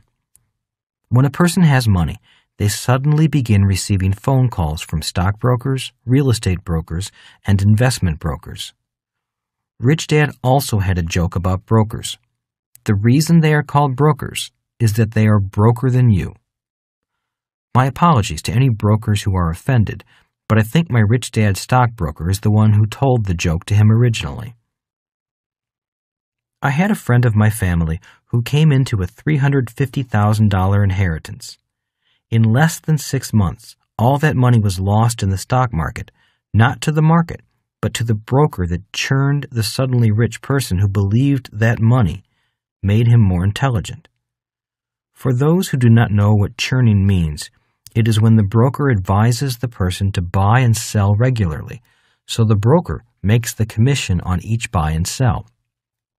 This practice is frowned upon, and severe fines are levied if brokerage houses find their brokers involved in this practice. Yet, it does happen. Just because you meet the qualifications of an accredited investor, simply a person with money, does not mean you know anything about investing. You will see many companies that invest as foolishly as individuals do. When there's a lot of money in the market, many companies run around buying other companies they hope are assets. In the industry, this is often called M&As or mergers and acquisitions. The problem is that many of these new acquisitions can become liabilities. Often the big company that bought a small company ends up in financial trouble. Reason number five the fear of losing increases. Many times, a person with a poor person's outlook on money has lived a life being terrified of being poor. So, when the sudden wealth hits, the fear of being poor does not diminish. In fact, it increases. As my friend who is a psychologist for professional day traders says, you get what you fear. That is why so many professional investors have psychologists as part of their team. At least, that is why I have one. I have fears, like everyone else. Reason number six the person does not know the difference between good expenses and bad expenses. I often receive a phone call from my accountant or tax strategist saying, You have to buy another piece of real estate. In other words, I have the problem of making too much money, and I need to invest more money in something like real estate because my retirement plan cannot take any more money. One of the reasons the rich get richer is that they buy more investments by taking advantages of the tax laws. In essence, the money that would have been paid in taxes is used to buy additional assets, which provide another deduction against income, which reduces the taxes due legally. The tetrahedron discussed earlier is to me one of the most important diagrams for wealth creation, as well as keeping and increasing the wealth created. When I show people the diagram, I am often asked why expenses are part of the structure. The reason is that it is through our expenses that we become richer or poorer, regardless of how much money we make. Rich Dad often said, if you want to know if a person is going to be richer or poorer in the future, just look at the expense column of their financial statement. Expenses were very important to Rich Dad. He often said, There are expenses that make you rich and expenses that make you poor. Smart business owners and investors know which kind of expenses they want and they control those expenses. Rich Dad said to me one day, the main reason I create assets is that I can increase my good expenses. The average person has mainly bad expenses. This difference in good expenses and bad expenses was one of Rich Dad's most important reasons for creating assets. He did so because the assets he created could buy other assets. As he said to me when I was just a kid walking along the beach looking at the very expensive piece of real estate he had just purchased, I can't afford to buy this land either, but my business can. If you understand the tax laws available to the B quadrant, you soon realize that one of the reasons the rich get richer is that the tax laws allow the B quadrant, more than other quadrants, to spend pre tax dollars to build, create, or buy other assets. In fact, the tax laws almost require you to buy more investments with pre tax dollars, which is why I receive those phone calls telling me to buy more real estate or buy another company. The E quadrant, on the other hand, must often use after tax dollars to build, create, or buy other assets. What to do with too much money? Rich Dad said, If you want to be rich, you must have a plan on how to make a lot of money. You must also have a plan in place for what to do with that money after you make it. If you do not have a plan in place for what to do with the money you make before you make it, you will often lose it faster than you made it. One of the reasons he had me study real estate investing was so that I would understand how to invest in real estate before I had a lot of money. Today, when my accountant calls and says, You have too much money, you need to buy more investments, I already know where to move my money, the corporate structures to use, and what to buy with that money. I call my broker and buy more real estate.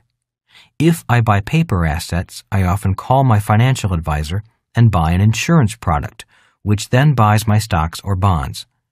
In other words, the insurance industry produces special insurance products for rich people who are business owners. When a business buys insurance, it is an expense to the company, and it often becomes an asset to the owner with many tax advantages. In other words, when my accountant calls, much of the money is already spent according to a predetermined plan. It is spent as expenses that make the person richer and more secure. Over the years, I have seen many people start very profitable businesses and still end up broke. Why? Because they did not control their expenses. Instead of spending money to acquire other assets such as real estate or paper assets, they expensed it through frivolous business expenses or bought liabilities like bigger homes, nice boats, fast cars, and new friends. Instead of getting financially stronger, they became financially weaker with every dollar they made and then spent. The other side of the coin. Rich Dad often said, it is through the expense column that the rich person sees the other side of the coin. Most people only see expenses as bad, events that make you poor. When you can see that expenses can make you richer, the other side of the coin begins to appear to you. He also said, seeing through the expense column is like going through the looking glass as Alice did in Alice in Wonderland. Once Alice went through the looking glass, she saw this bizarre world that in many ways reflected the other side of the looking glass.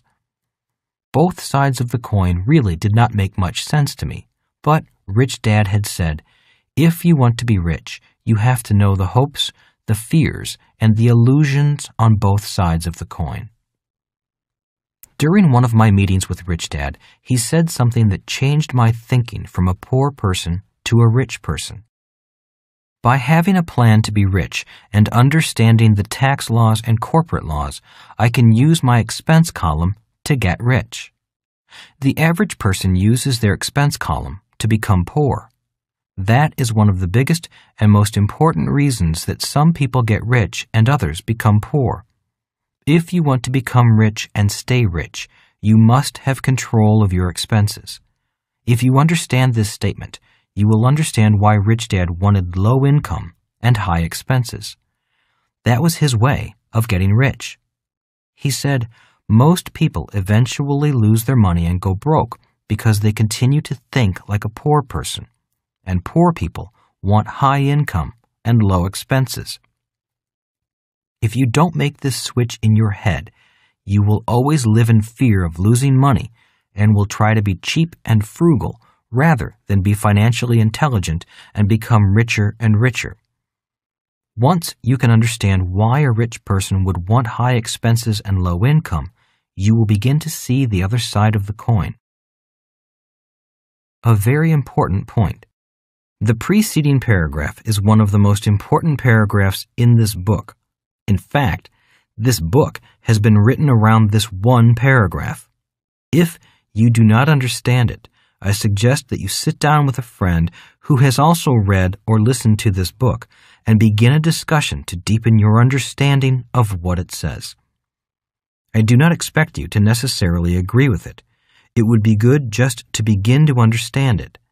You may begin to understand that there is a world of too much money, and you may understand how you can become a part of that world. Rich Dad said, People who do not change their point of view about money in their head will only see one side of the coin. They will see the side of the coin that only knows a world of not enough money. They may never see the other side of the coin, the side of a world of too much money, even if they do make a lot of money. By understanding that a world of too much money can exist, understanding a little of the tax laws and corporate laws, and why control of your expenses is so important, you can begin to see an entirely different world, a world very few people ever see. And seeing that world begins in your head. If your mental view can change, then you will begin to understand why Rich Dad always said, I use my expenses to get richer and richer. The average person uses their expenses to become poorer and poorer. If you understand that statement, you may understand why I think the teaching of financial literacy is important for our school system. It is also why my educational cash flow game can help you see a world of money that few people ever see. The financial statement is much like the looking glass in Alice in Wonderland. In the cash flow game, the player moves from the rat race of life onto the fast track of the investment world through mastery of the financial statement. How can low income and high expenses be good? So, as Rich Dad said, money is just an idea. And these last few paragraphs contain some very important ideas. If you understand fully why low income and high expenses are good, then move on. If not, please invest some time in discussing this point with someone who has also read or listened to this book. This idea is the pivotal point of this book. It also explains why many rich people go broke. So, please do your best to understand this point because it makes little sense to be creative, build an asset, and make a lot of money only to lose it all. When I studied the 90 10 rule, the one thing I discovered is that the 90% who earn the 10% are people who want high income and low expenses. That is why they stay where they are. A guideline. So the question is how can low income and high expenses make you rich? The answer is found in how the sophisticated investor utilizes the tax laws and corporate laws to bring those expenses back to the income column. Again, the question is how can low income and high expenses make you rich? If you can begin to understand how and why this is done, then you will begin to see a world of greater and greater financial abundance. In other words, the money comes in the income column and goes out the expense column and never comes back in. That is why so many people try to budget, save money, be frugal, and cut back on expenses. This also describes the person who will emphatically say, My house is an asset, even though the money goes out the expense column and does not return, at least not immediately.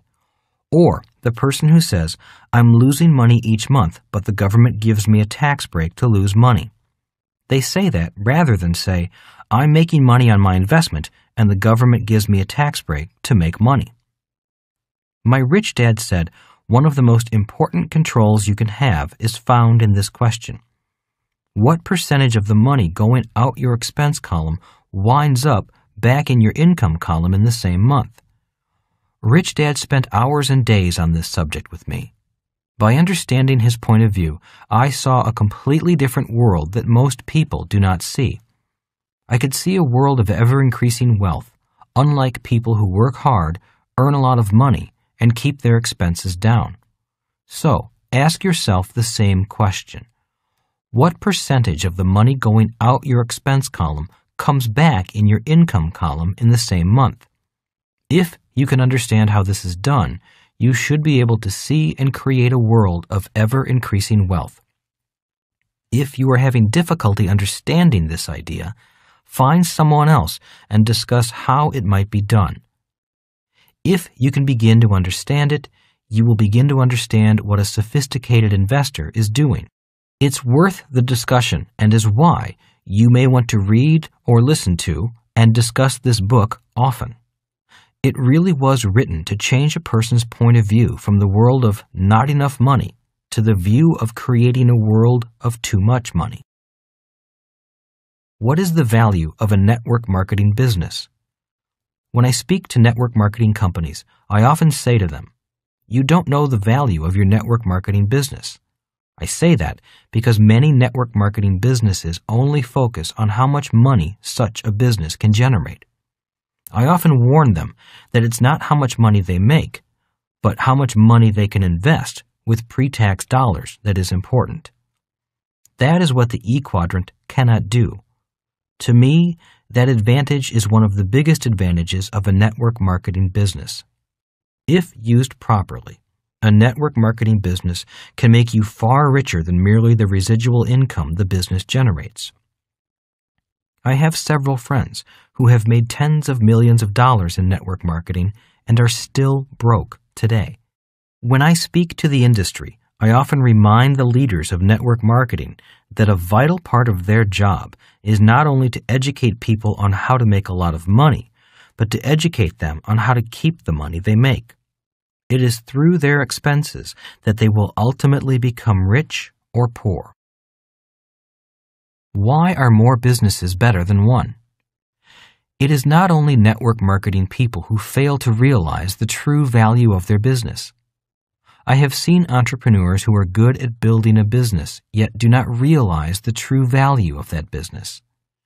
The reason this happens is that many people believe that you only build a business to sell it. That is the idea of a business owner who does not know what a sophisticated investor knows about the tax laws and corporate laws.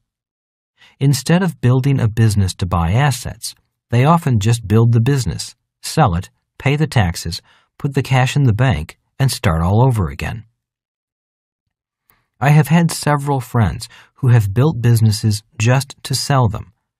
Two friends of mine have sold their companies for cash and then lost all that cash in their next business venture.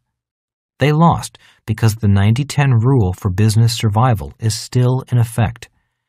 These two were individuals from the S quadrant who built B quadrant businesses. They then sold those businesses to people from the B quadrant. The buyers recognized the often unseen value of a B quadrant business so the friends who sold their businesses ultimately went broke, even though they had collected several million dollars. The businesses they sold went on to make the new owners even richer. A sophisticated business owner and investor will do their best to keep the business as long as possible and have it acquire as many stable assets as possible. As my rich dad said, the main reason I build a business is for the assets the business buys me. For many entrepreneurs, the business they build is their only asset because they utilize a single corporation strategy and fail to harness the power of a multi corporation investment strategy. Again, to utilize such a strategy requires a team of professional advisors. This points out that the big advantage the B quadrant has is that their tax laws allow you to spend pre tax dollars to make you financially richer. In fact, the laws reward you for investing as much money as possible. After all, it is the rich who write the rules. The power of expenses. Expenses can be an asset or liability, regardless of how much money you make. One of the reasons 90% of the people only have 10% of the money is that they do not know how to spend the money they make.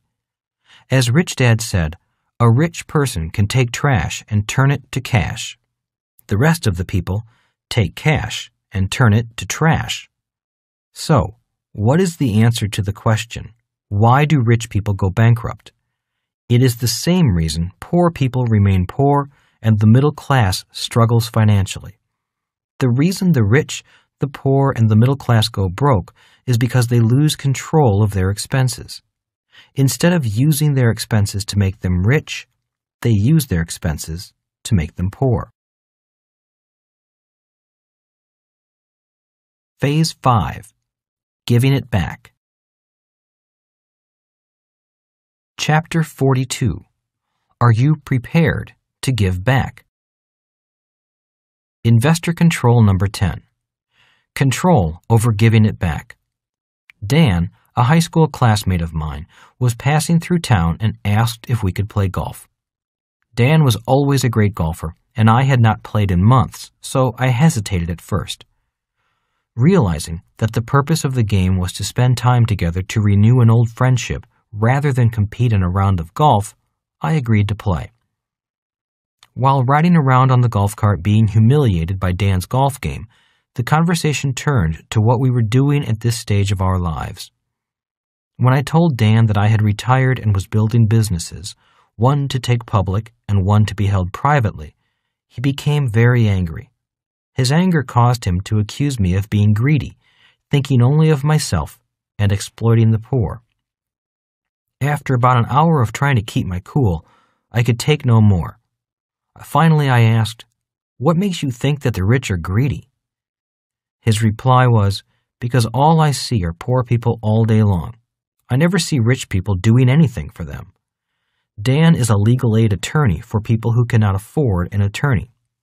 The gap between the haves and have nots is bigger than ever, and it is not improving.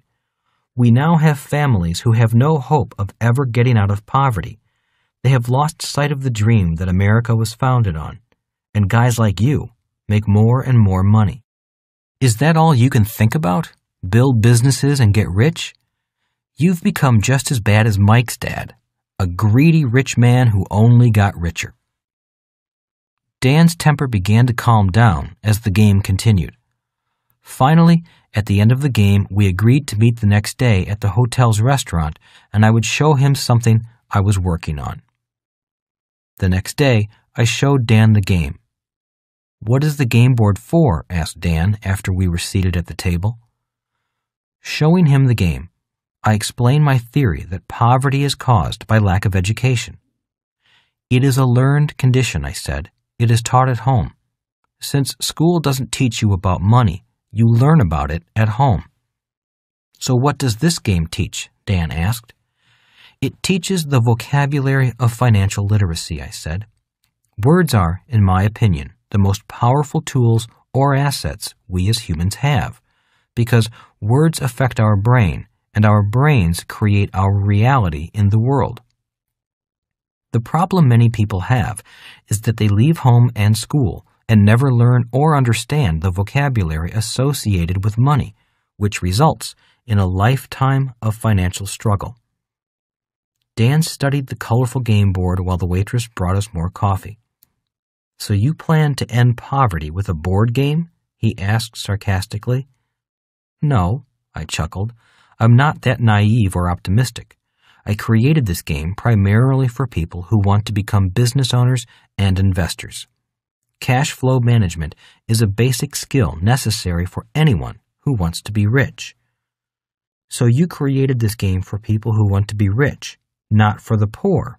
Dan asked, his anger rising again. Again, I chuckled at his emotional reaction. No, no, no, I said. I did not create this product to exclude the poor. I'll say it again. I created this game for people who want to be rich, regardless of whether you are rich or poor today. The look on Dan's face softened, if only a little.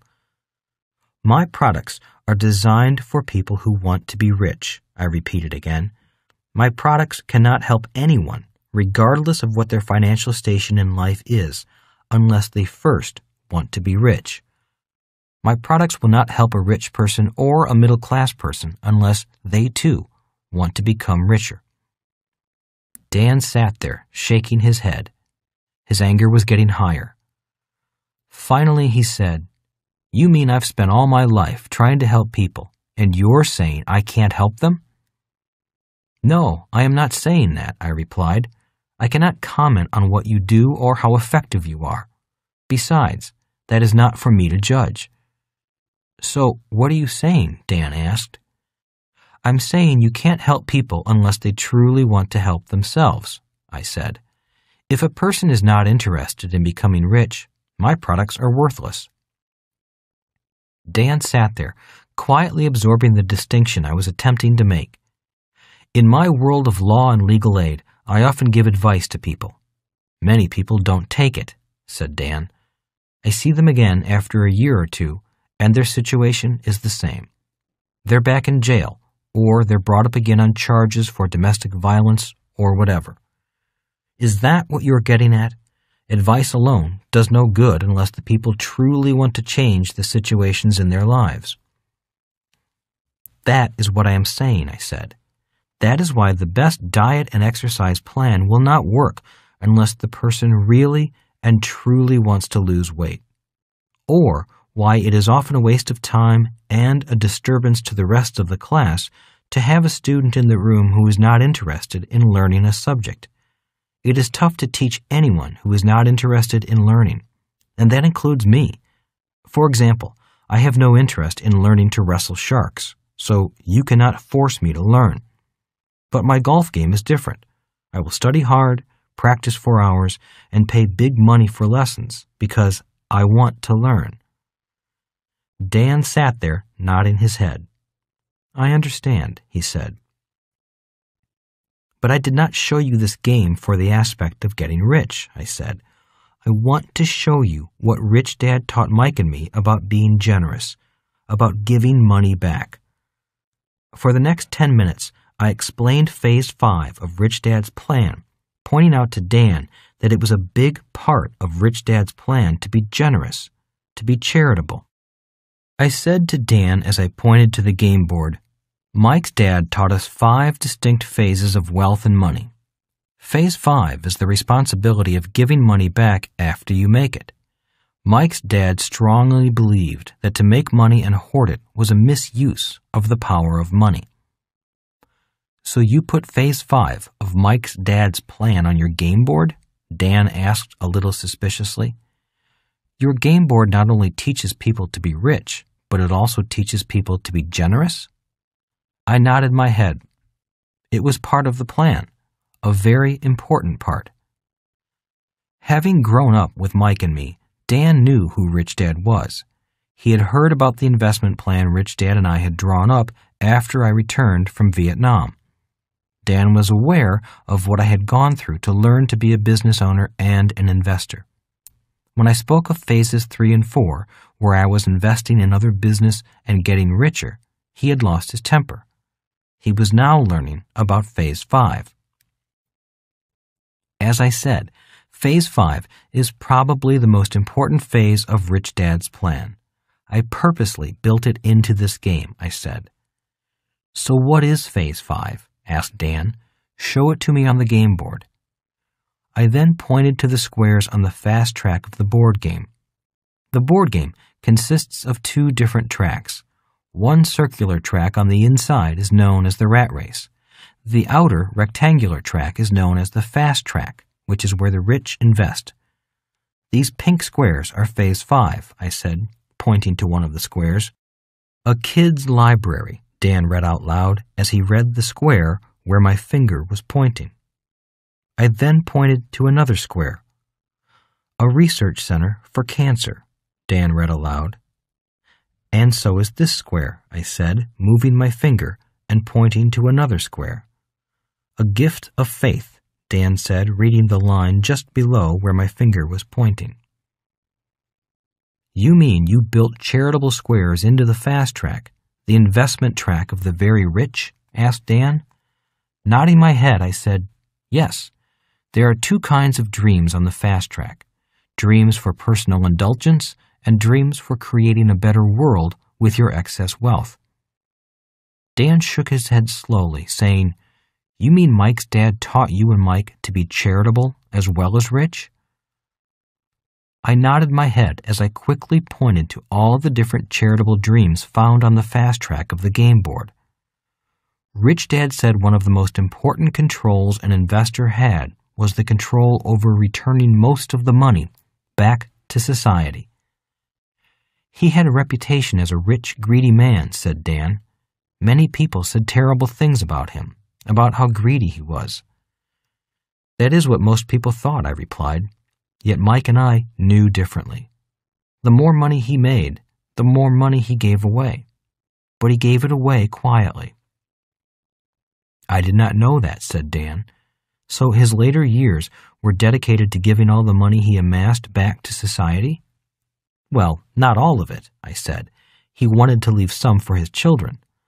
The point I want to make is that many people have this belief that the rich are greedy. That belief blinds them to the truth or the reality that not all the rich are greedy. If you open your eyes, you will see that many of the very rich have made tremendous financial contributions to society. Look at what Andrew Carnegie has given back through libraries, Henry Ford through his Ford Foundation, and the Rockefellers through the Rockefeller Foundation. John D. Rockefeller not only created his charitable foundation to give away his money, but he also donated extensively to the University of Chicago, as many rich alumni donate to their schools. Many other ultra rich people have founded their own institutions of higher learning, just as Stanford founded Stanford University and Duke founded Duke University. The rich have always been very generous to higher education. Vanderbilt University was founded by a very rich entrepreneur, added Dan. I realize that the rich create jobs and provide goods and services to make life a little better. So now you're telling me that they often give the money back to society. That is exactly what I am saying, I replied, and yet many people can only see what they think is the greedy side of the rich. I know that there are greedy rich people, but there are also greedy poor people. So your rich dad gave it back, Dan repeated. Yes, I replied. Phase five made him the happiest of all the phases. Besides, being charitable increased his expenses, reduced his income, and took him through the looking glass. What? stammered Dan in confusion. What looking glass? Never mind, I said. Just know that being generous made him happy in more ways than one. What did he give to? asked Dan. Since his own father died of cancer, Rich Dad's foundation gave tremendous amounts of money to cancer research. He also built a cancer ward in a small country hospital so the country people could be closer to their loved ones when they were hospitalized. Being a very religious man, he also built a classroom building for his church so the church could have a larger Sunday school for kids. And he was a patron of the arts, acquiring artwork from many talented artists as well as donating money to the museums. The best thing is that his foundation is so well directed that even after his death, it will continue to earn and donate money. Even in death, he will still do a lot of good for society. The trusts and foundations he set up will be providing money for many worthy causes for years to come. He planned to have too much money in life, and he planned on having too much money in death, said Dan. He definitely had a plan, I replied. So your cash flow game really does include everything your rich dad taught you. He taught you how to make the money and how to give the money back, said Dan. I did my best to include in the game all the important things Rich Dad taught me about money. And the importance of giving back was one of the things he taught me. I replied. He taught me to control the acquisition of wealth, and he taught me how to control giving it back. I wish more people did that, said Dan. Oh, there will be more people giving more money back, I said. Just look at this baby boom generation. Many were hippies in the 60s, and they are fast becoming multimillionaires today. In a few years, the revolution they were a part of will be in full force with cash flow. Many of these one time hippies and others of that generation are very socially responsible people. What they learned from the 60s, their poor college days, will be brought to fruition in the next few years. Their ideals, coupled with their wealth, will be a powerful financial, political, and social force in the world. I think that they will do the charitable deeds that our government cannot afford to do today. Many rich boomers will be completing socially responsible deeds they wanted to perform when they were poor. What makes you think they will be generous? asked Dan. Because it is already happening, I replied. Bill Gates alone has pledged billions of dollars to various causes and has a full time staff to give the money away. If you look around, you'll see that this baby boom generation of wealthy entrepreneurs will be pressuring each other to be generous. It will be very socially uncool to be rich and not be generous. So Mike's dad was a generous man, and he taught you and Mike to be generous. I nodded my head. Even though many people in town criticized him for being rich, he continued to give quietly. Being generous made financial sense to him, as well as giving him pleasure. I really did not know that, Dan said quietly, and giving money away made him happy. I nodded my head.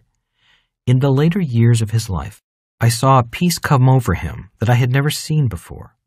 He had done a lot of good during his life, and he would continue to do good when his life was over. His life was complete. He was very proud of both Mike and me. He said he knew I was more like my real dad. He knew I was a teacher, and he hoped I would go on to teach others as he had taught me. He wanted me to be both dads, a rich man as well as a teacher. And was that it? asked Dan. No, I replied. He couldn't leave it at that. He was always afraid that I would give up along the way. He was afraid that I would not have the persistence to make my investment plan come true, which would mean my financial dreams would not come true. He was always afraid that I would join the quitters of the world, doing what was easy rather than doing what was necessary. The last advice he gave me was keep going, keep minding your own business, keep being true to your dreams, and all your dreams will come true, I said quietly. Bringing me back to the present, Dan asked, So, have all your dreams come true? Almost, I replied. I still want to become an ultimate investor. When Kim and I started the Rich Dad Company, our mission was to elevate the financial well being of humanity. That's a pretty aggressive mission, Dan said with his eyebrows raised. I can see how you would say that, but we accomplish our mission every day. We receive calls, letters, and emails every day from people who have taken action to improve their financial lives. We have been overwhelmed by the response we have from the people using our products. Every time we hear from someone who has improved their financial well being, we have accomplished our mission. That sounds great, Robert. It's nice to see you so energized by giving, Dan said we are still developing our outreach and programs. The important thing is to support learning wherever we can. Kim and I have been very blessed with success, and we want to continue to look for ways to give back by helping others learn and then teach financial literacy. Conclusion Why it no longer takes money to make money. While teaching an investment class, I was asked, what internet company would you recommend I invest in? I replied, Why invest in someone else's internet company? Why don't you start your own internet company and ask people to invest in it? There are many investment books written on how to buy assets. This book has been dedicated to learning how to create assets that buy assets. So, why not take the time to consider creating an asset rather than simply buying an asset? It has never been easier to create your own asset. The world is 10 years old. On October 11, 1998, Merrill Lynch ran a full page ad in several of the larger American newspapers announcing that the world was just 10 years old. Why just 10 years old? Because it had been approximately 10 years since the Berlin Wall had come down. Tearing down the Berlin Wall is the event some economic historians use to mark the end of the industrial age and the beginning of the information age. Until the information age, most people had to be investors from the outside. Now, more and more people can invest from the inside rather than from the outside. When I answered, why invest in someone else's internet company? Why not start your own company? I meant, it is now the information age, so why not become an insider instead of an outsider? Three ages. In the agrarian age, the rich were those who owned a castle that overlooked large tracts of fertile agricultural land. Those people were known as the monarchs and the nobles. If you were not born into this group, you were an outsider with very little chance of becoming an insider. The 90 10 rule controlled life. The 10% who were in power were there because of marriage, birth, or conquest. The other 90% were serfs or peasants who worked the land but owned nothing. During the agrarian age, if you were a good, hard-working person, you were respected. The idea of being diligent was handed down from parent to child. Because 90% of the people worked to support the rich 10% who appeared not to be working, the idle rich began to be loathed.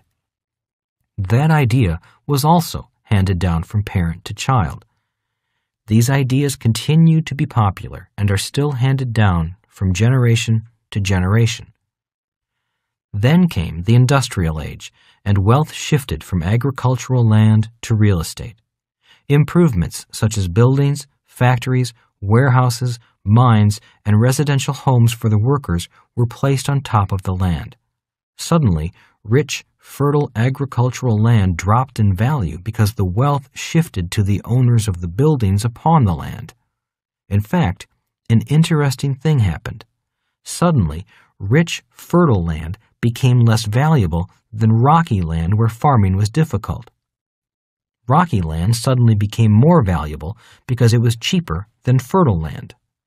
It could also hold taller buildings such as skyscrapers or factories, and it often contained resources such as the oil, iron, and copper that fueled the industrial age. When the shift in ages occurred, many farmers' net worth went down. To maintain their standard of living, they had to work harder and farm more land than before. It was during the industrial age that the go to school so you can find a good job idea became popular. In the agrarian age, a formal education was not necessary since professions were handed down from parent to child. Bakers taught their children to be bakers, and so on. Near the end of the agrarian age, the idea of a job, or the idea of one job for life became popularized. You went to school, got that one job for life, worked your way up the corporate ladder or up the union ladder, and when you retired, the company and the government took care of your needs. In the industrial age, those not of noble birth could become rich and powerful. Rags to riches stories spurred on the ambitious. Entrepreneurs started with nothing and became billionaires. When Henry Ford decided to mass produce the automobile, he found some cheap, rocky land that farmers did not want near a small town known as Detroit, and an industry was born. The Ford family and anyone around them who did business with them became, in essence, the new rich nobility. New names became as prestigious as those of kings and queens, names such as Rockefeller, Stanford, and Carnegie. People often respected, as well as despised, them for their great wealth and power. However, in the industrial age, as during the agrarian age, only a few controlled most of the wealth. The 90 10 rule still held true, although this time the 10% was not determined by birth, but by ambition and determination. the 90 10 rule held true simply because it took great effort and coordination, as well as a lot of money, people, land, and power to build and control the wealth. For example, to start an automobile company or an oil or mining company is capital intensive. It takes massive amounts of money, lots of land, and many smart, formally educated people to build that type of company. On top of that, you often must get through years of bureaucratic red tape, such as environmental studies, trade agreements, labor laws, and so on, to get such a business off the ground. In the industrial age, the standard of living went up for most people, but the control of real wealth continued to remain in the hands of a few. These rules, however, have changed. The 90 10 rule has changed. When the Berlin Wall came down and the World Wide Web went up, many of the rules changed. One of the most important rules that changed was the 90 10 rule. Although it's likely that only 10% of the population will always control 90% of the money, the access or the opportunity to join that 10% has changed. The World Wide Web has changed what it costs to join the 10%. Today, it does not take being born into a royal family as it did in the agrarian age. It does not require massive sums of money, land, and people as it did in the industrial age. The price of admission today is an idea, and ideas are free. In the information age, all it takes is information or ideas to become very, very wealthy. It is therefore possible for individuals who are financially obscure one year to be on the list of the richest people in the world the next. Such people often fly past individuals who made their money in the ages gone by. College students who have never had a job become billionaires. High school students will surpass their college student counterparts. In the early 1990s, I remember reading a newspaper article that said many Russian citizens complained that under communist rule, their creativity was stifled.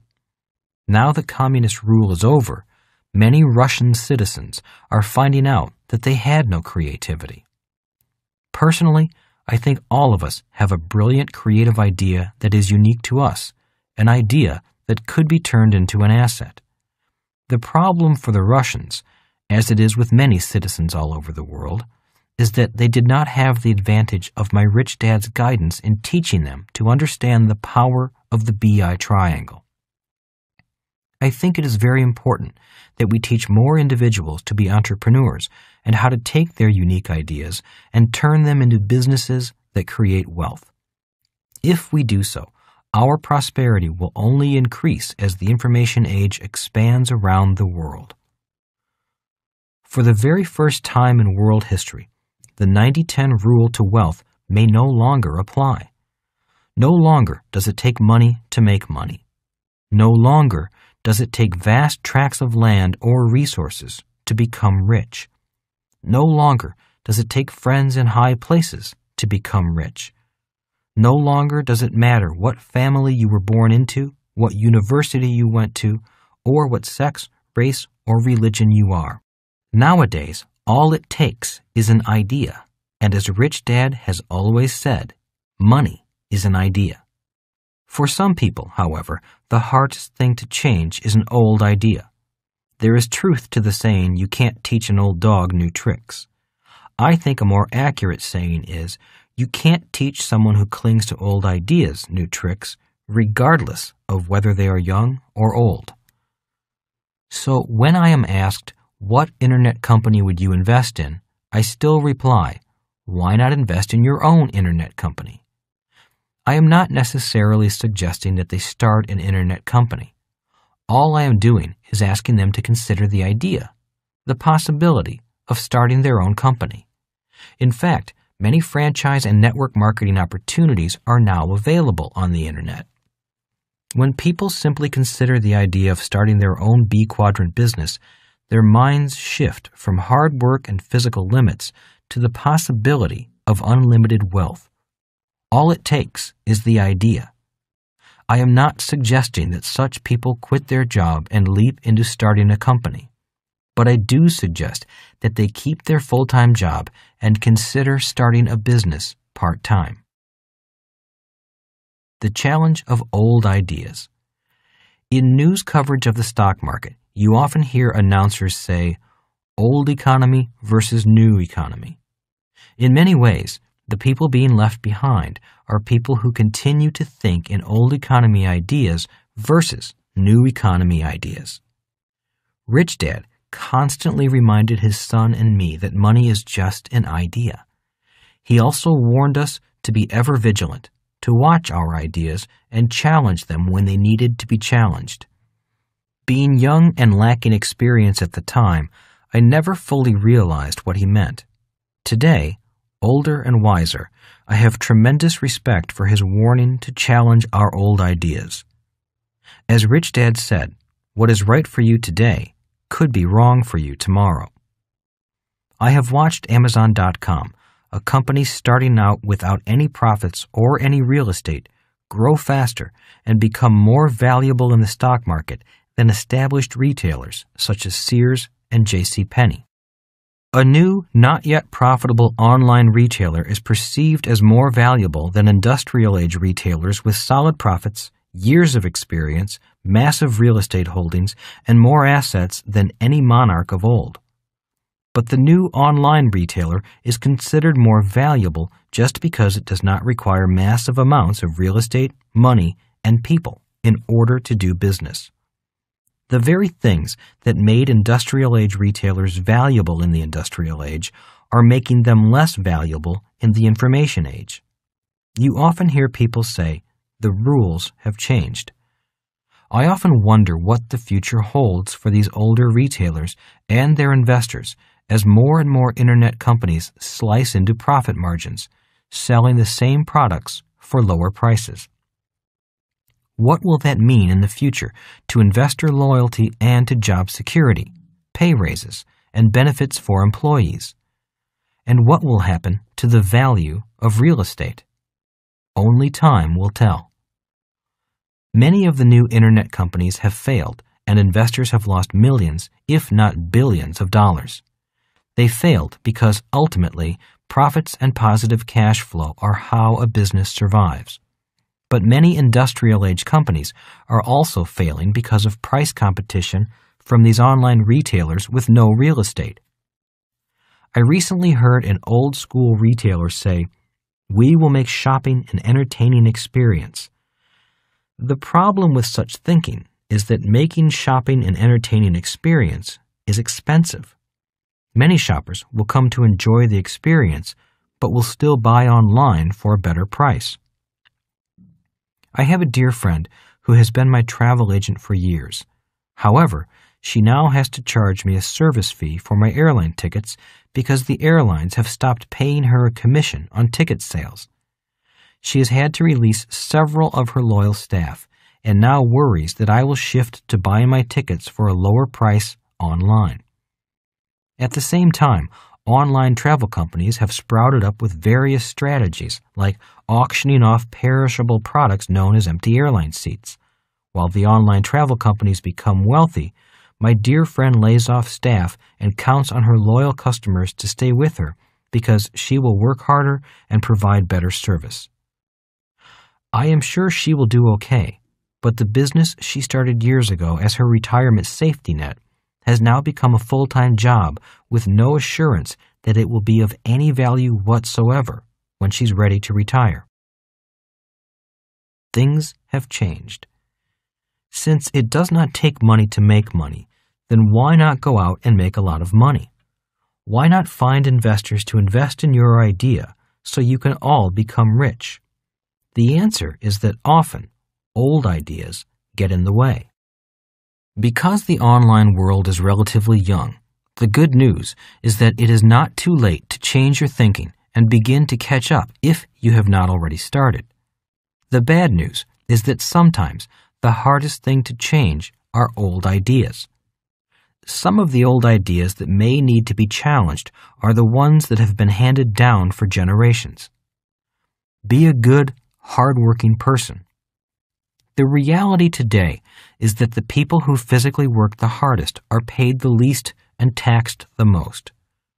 I am not saying not to work hard. All I am saying is that we need to constantly challenge our older thoughts and maybe rethink new ones. Consider working hard in a part time business for yourself. Today, instead of being in just one quadrant, we need to be very familiar with all four quadrants of the cash flow quadrant. After all, we're in the information age, and working hard at one job for life is an old idea. The idle rich are lazy. The reality is that the less you are involved physically in your work, the greater your chances are of becoming very rich. Again, I am not saying to not work hard. I am suggesting that today we all need to learn to make money mentally, not just physically. Those who make the most money work the least physically.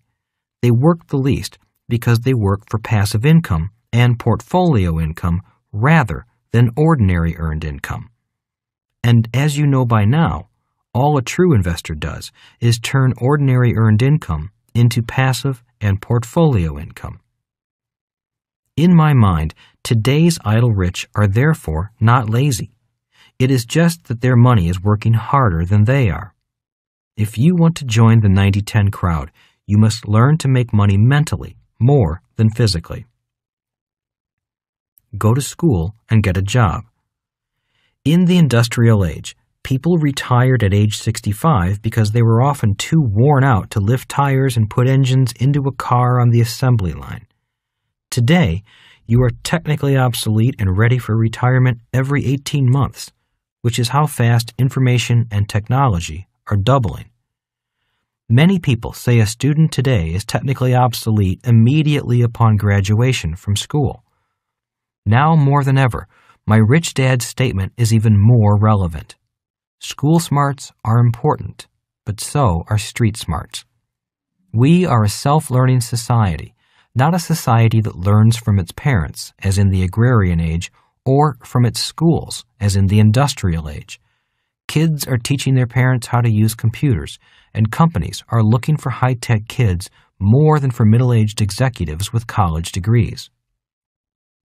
To stay ahead of the obsolescence curve, continual learning from school as well as the street is vitally important. When I speak to young people, I advise them to think like professional athletes as well as college professors. Professional athletes know their careers will be over as soon as younger athletes can beat them. College professors know that they will become more valuable the older they get if they continue to study. Both points of view are important today.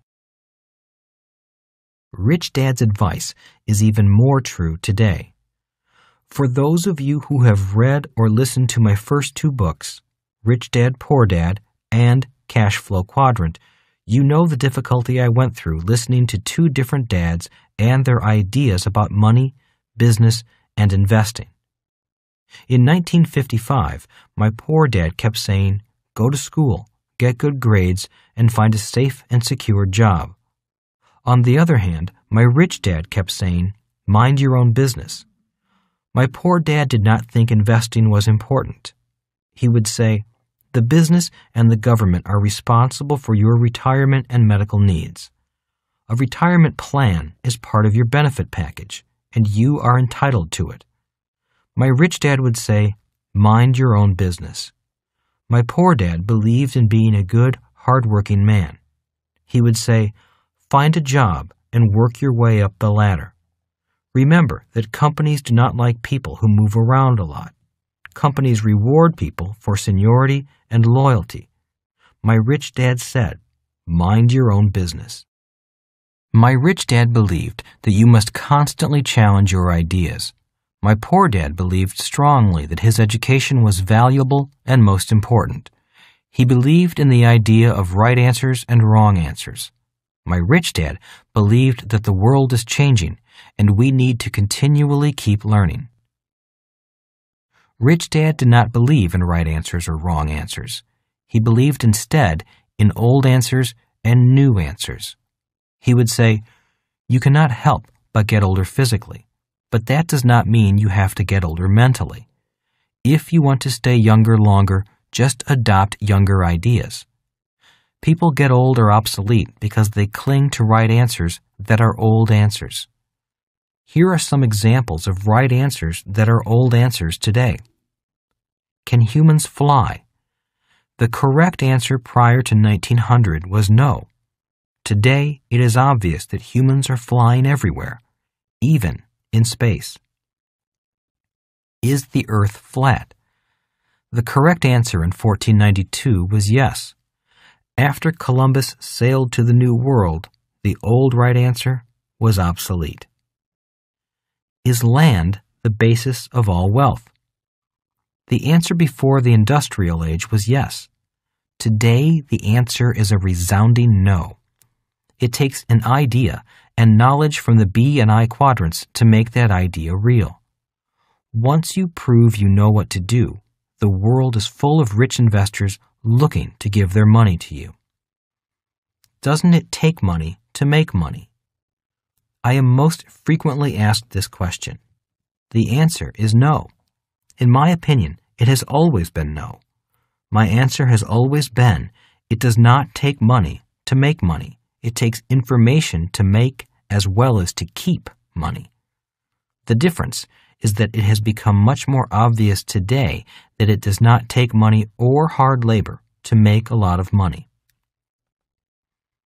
I don't know what tomorrow will bring. No one does. That is why Rich Dad's idea of constantly challenging and updating ideas was one of the most important ideas he passed on to me. Today, I see so many of my friends falling behind professionally as well as financially, simply because they fail to challenge their own ideas. Their ideas are often very old answers handed down for generations, from one economic era to another. Some high school kids plan on never having jobs. Their plan is to bypass the whole industrial age idea of job security and become financially free billionaires instead. This is why I ask people to think about building their own internet business, either on their own or through a franchise or network marketing company, instead of just looking for one to invest in. Today's thinking process is very different, and it may challenge some very old, right ideas. Those old ideas often make the process of change difficult. Ideas just need to be better. Always remember that once you have mastered the guidelines found in the BI triangle, you can virtually take nothing and turn it into an asset. When I am asked what my first successful investment was, I simply reply, my comic book business. In other words, I took comic books that were going to be thrown away and created an asset around them, using the principles found in the BI triangle. Starbucks did the same thing with a cup of coffee. So ideas do not have to be new and unique. They just have to be better. This has been going on for centuries. In other words, things do not have to be high tech to be better. In fact, many things that we take for granted today were very high tech yesterday. There are many individuals who spend their lives copying other people's ideas rather than creating their own. I have two acquaintances that make it a practice of taking other people's ideas. Although they may make a lot of money, there is a price for taking other people's ideas without their permission or giving credit where credit is due for those ideas. The price these people pay, although they may make a lot of money, is the respect of the people that know they take other people's ideas without permission. As my rich dad often said, there is a fine line between copying and stealing. If you are creative, you have to be careful of thieves who steal ideas. They are just as bad as people who burglarize your home. Because there are more people stealing than creating, it becomes ever more important to have an intellectual property attorney on your team protecting your creations. One of the most important technological changes in the history of the Western world took place during the Crusades when Christian soldiers came across the Hindu Arabic system of numbers. The Hindu Arabic system of numbers, so named because the Arabs found this numbering system during their invasion of India, replaced Roman numerals. Few people appreciate the difference this new system of numbers has made upon our lives. The Hindu Arabic system of numbers allowed people to sail further out to sea with greater accuracy. Architecture could be more ambitious, timekeeping could be more accurate, and the human mind could be sharpened, allowing people to think more accurately, abstractly, and critically. It was a major technological change that had a tremendous effect on all of our lives. The Hindu Arabic numbering system was not a new idea. It was simply a better idea. And on top of that, it was someone else's idea. Many of the most financially successful people are not necessarily people who have creative ideas.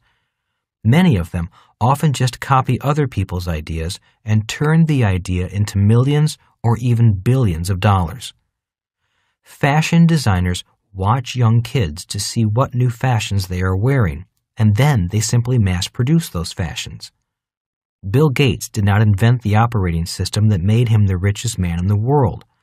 He simply bought the system from the computer programmers who did invent it and then licensed their product to IBM. The rest is history. Amazon.com simply took Sam Walton's idea for Walmart and put it on the internet. Jeff Bezos became rich much more quickly than Sam Walton. In other words, who says you need to have creative ideas to be rich? You just need to be better at the BI triangle and at taking ideas and turning them into riches. Following in your parents' footsteps. Tom Peters, author of In Search of Excellence, has been saying over and over again job security is dead. Yet many people continue saying to their children, Go to school so you can find a secure job. Many people struggle financially simply because they have their parents' ideas about money. Instead of creating assets that buy assets, most of our parents worked for money and then bought liabilities with that money, innocently thinking they were assets. That is why many people go to school and get good jobs, because that is what their parents did or advised them to do. Many struggle financially or live paycheck to paycheck because that is what their parents did. When I teach my investment classes, a very important exercise is for students to compare what they are doing today to what their parents did or advised them to do. Many times, students realize that they are either following closely in their parents' footsteps or are following their parents' advice. At that point, they have the power to question these old ideas that have been running their lives. If a person truly wants to change, adopting a better idea is often a good idea. My rich dad always said, if you want to get richer faster, simply look for ideas that are better than the ones you are using today. That is why, to this day, I read biographies of rich entrepreneurs and listen to recordings of their lives and their ideas. As Rich Dad said, ideas need not be new. They just need to be better. And a rich person is always looking for better ideas. Poor people often defend their old ideas or criticize new ones. Only the paranoid survive. Andy Grove, former chairman of Intel, titled his book Only the Paranoid Survive. He got that title from Dr. Joseph A. Schumpeter, a former Austrian Minister of Finance and Harvard Business School professor. Dr. Schumpeter expressed this idea that only the paranoid survive in his book Capitalism, Socialism, and Democracy. Dr. Schumpeter was the father of the modern study of dynamics, the growth and change in economics. Lord Keynes was the father of that study of statics, or static economics. Dr. Schumpeter's idea is that capitalism is creative destruction, a perpetual cycle of destroying the old, less efficient product or service and replacing it with new, more efficient ones. Dr. Schumpeter believed that governments that allow the existence of capitalism, which tears down weaker and less efficient businesses, will survive and thrive.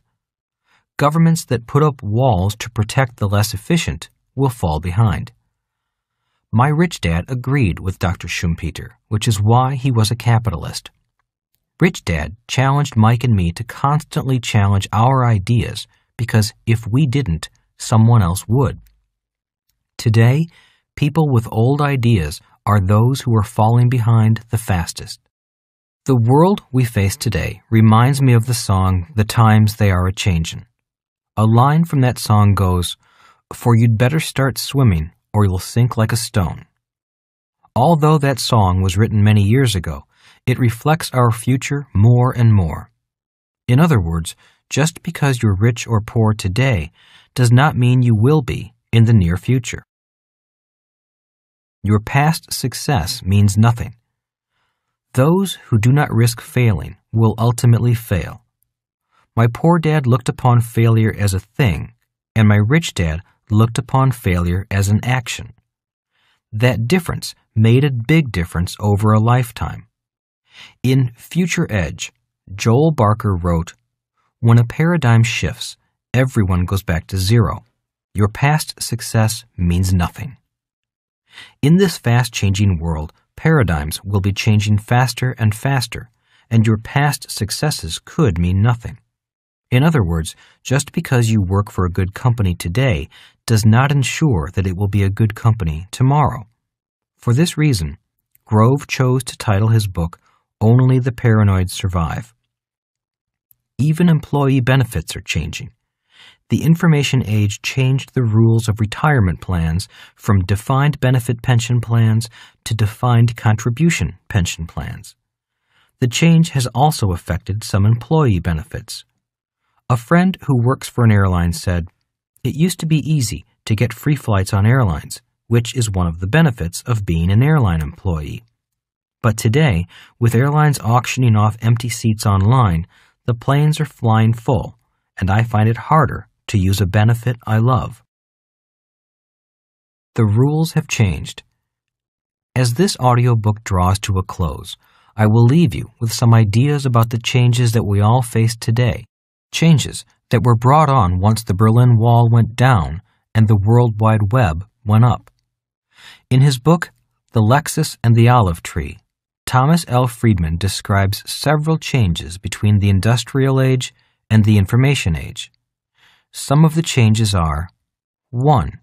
Industrial Age, Einstein's E equals mc squared. Information Age, Moore's Law. During the Cold War, Einstein's theory of relativity, E equals mc squared, ruled. In 1945, when the United States dropped the atomic bomb on Japan, America became the economic power of the world and took military dominance away from England. During the 1980s, everyone thought Japan was about to beat the United States economically, and the Nikkei stock market surged. But Japan's period of economic dominance was short lived because the United States redefined itself. The United States redefined itself because it shifted from E equals mc squared to Moore's Law. Moore's Law states that the power of technology will double every 24 months. America became the leading world power because it led in technology as well as weaponry. If America had remained in the weapons race only, we would have soon become a bankrupt nation like the former Soviet Union. When the Berlin Wall came down in 1989, America's capital markets shifted quickly into the information age. That freedom to change quickly is the financial power provided by a free capitalistic society. Japan, as well as England, cannot change that quickly because both countries have too many ties to the days of the feudal system otherwise known as the monarchy, an agrarian age institution. Unconsciously, those countries are waiting for the monarch to lead them. In other words, innovation is often hampered by traditions. That idea is true for individuals as well as nations. As Rich Dad said, old ideas get in the way of new ideas. I am not suggesting that we get rid of old traditions. Rather, because we are now in the information age, we need expanded ideas. 2. Industrial age, weight of missiles. Information age, speed of modems. When the Berlin Wall came down, E equals mc squared changed to Moore's law. The power in the world shifted from the weight of nuclear warheads to how fast your modem is. The good news is that a fast modem costs a lot less than big missiles. Speed matters more than weight. 3. Industrial age. Two world powers in charge. Information age. No one in charge. During the Cold War, there were two superpowers, the United States and the Soviet Union. Today, the Internet makes the idea of a borderless world and a global economy a reality. Today, the electronic herd, which is the thousands of fund managers who control great sums of money, has the power to affect world politics more than politicians do. If the electronic herd does not like the way a country is managing their financial affairs, they will move their money elsewhere at the speed of light. It is not the politicians who have the power today, as they did in the industrial age.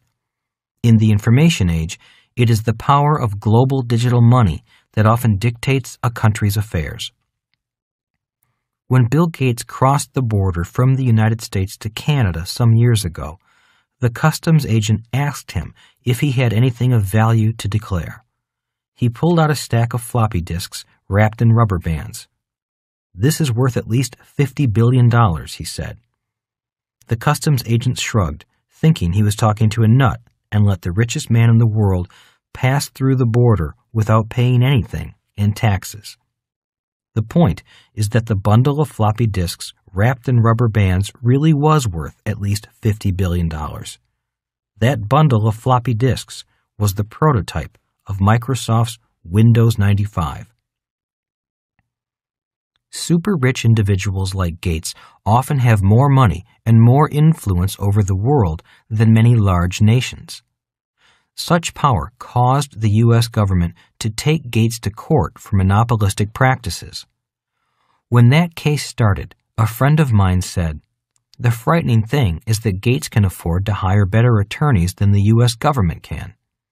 That is because the U.S. government is an industrial age institution and Gates is an information age individual. Following in this line of thinking, George Soros believes that many corporations have much more money and power than many Western nations. That means there are corporations today that could damage the economy of an entire nation just to benefit a few shareholders. That is how much power many corporations have. In the years ahead, many changes, both good and bad, will occur. I believe that capitalism will be unleashed to its fullest extent. Old and obsolete businesses will be wiped out. Competition, as well as the need to be cooperative, will increase. Younger companies will buy out older ones. These changes are all happening because the genie known as technology has been released from the bottle, and information and technology are now cheap enough for everyone to afford the good news. The good news is that for the very first time, the 90 10 rule of the rich no longer needs to apply. It is now possible for more and more people to gain access to the great world of infinite wealth, the wealth found in information. And information is infinite, not restricted as land and resources were in ages gone by. The bad news is that the people who cling to old ideas may be brutalized by the changes upon us, as well as by the changes yet to come. If Rich Dad were alive today, he might say, The Internet is much like the California gold rush of the 1850s. The only difference is that you do not need to leave your home to participate in it. So why not participate in it? He would probably go on to say, during any economic bonanza, there are only three kinds of people those who make things happen, those who watch things happen, and those who say, What happened? Although I started with Einstein's theory of relativity as an obsolete idea from the Cold War, I also think of Einstein as a true visionary. Even then, he recognized an idea that is even truer today. Imagination is more important than knowledge. The really good news is that, for the first time in history, the internet gives more and more people the ability to see the other side of the coin if they go there with open eyes. Taking my ideas and creating an asset with those ideas was one of the best challenges I have undertaken. Although not always successful, my skills increased with each new venture, and I could see a world of possibilities that few people see. So the good news is that the internet makes it easier for more people to access a world of abundance that for centuries has been available to just a few. The internet makes it possible for more people to take their ideas, create assets that buy other assets, and have their financial dreams come true. We've only just begun. Karen and Richard Carpenter sang a song entitled We've Only Just Begun.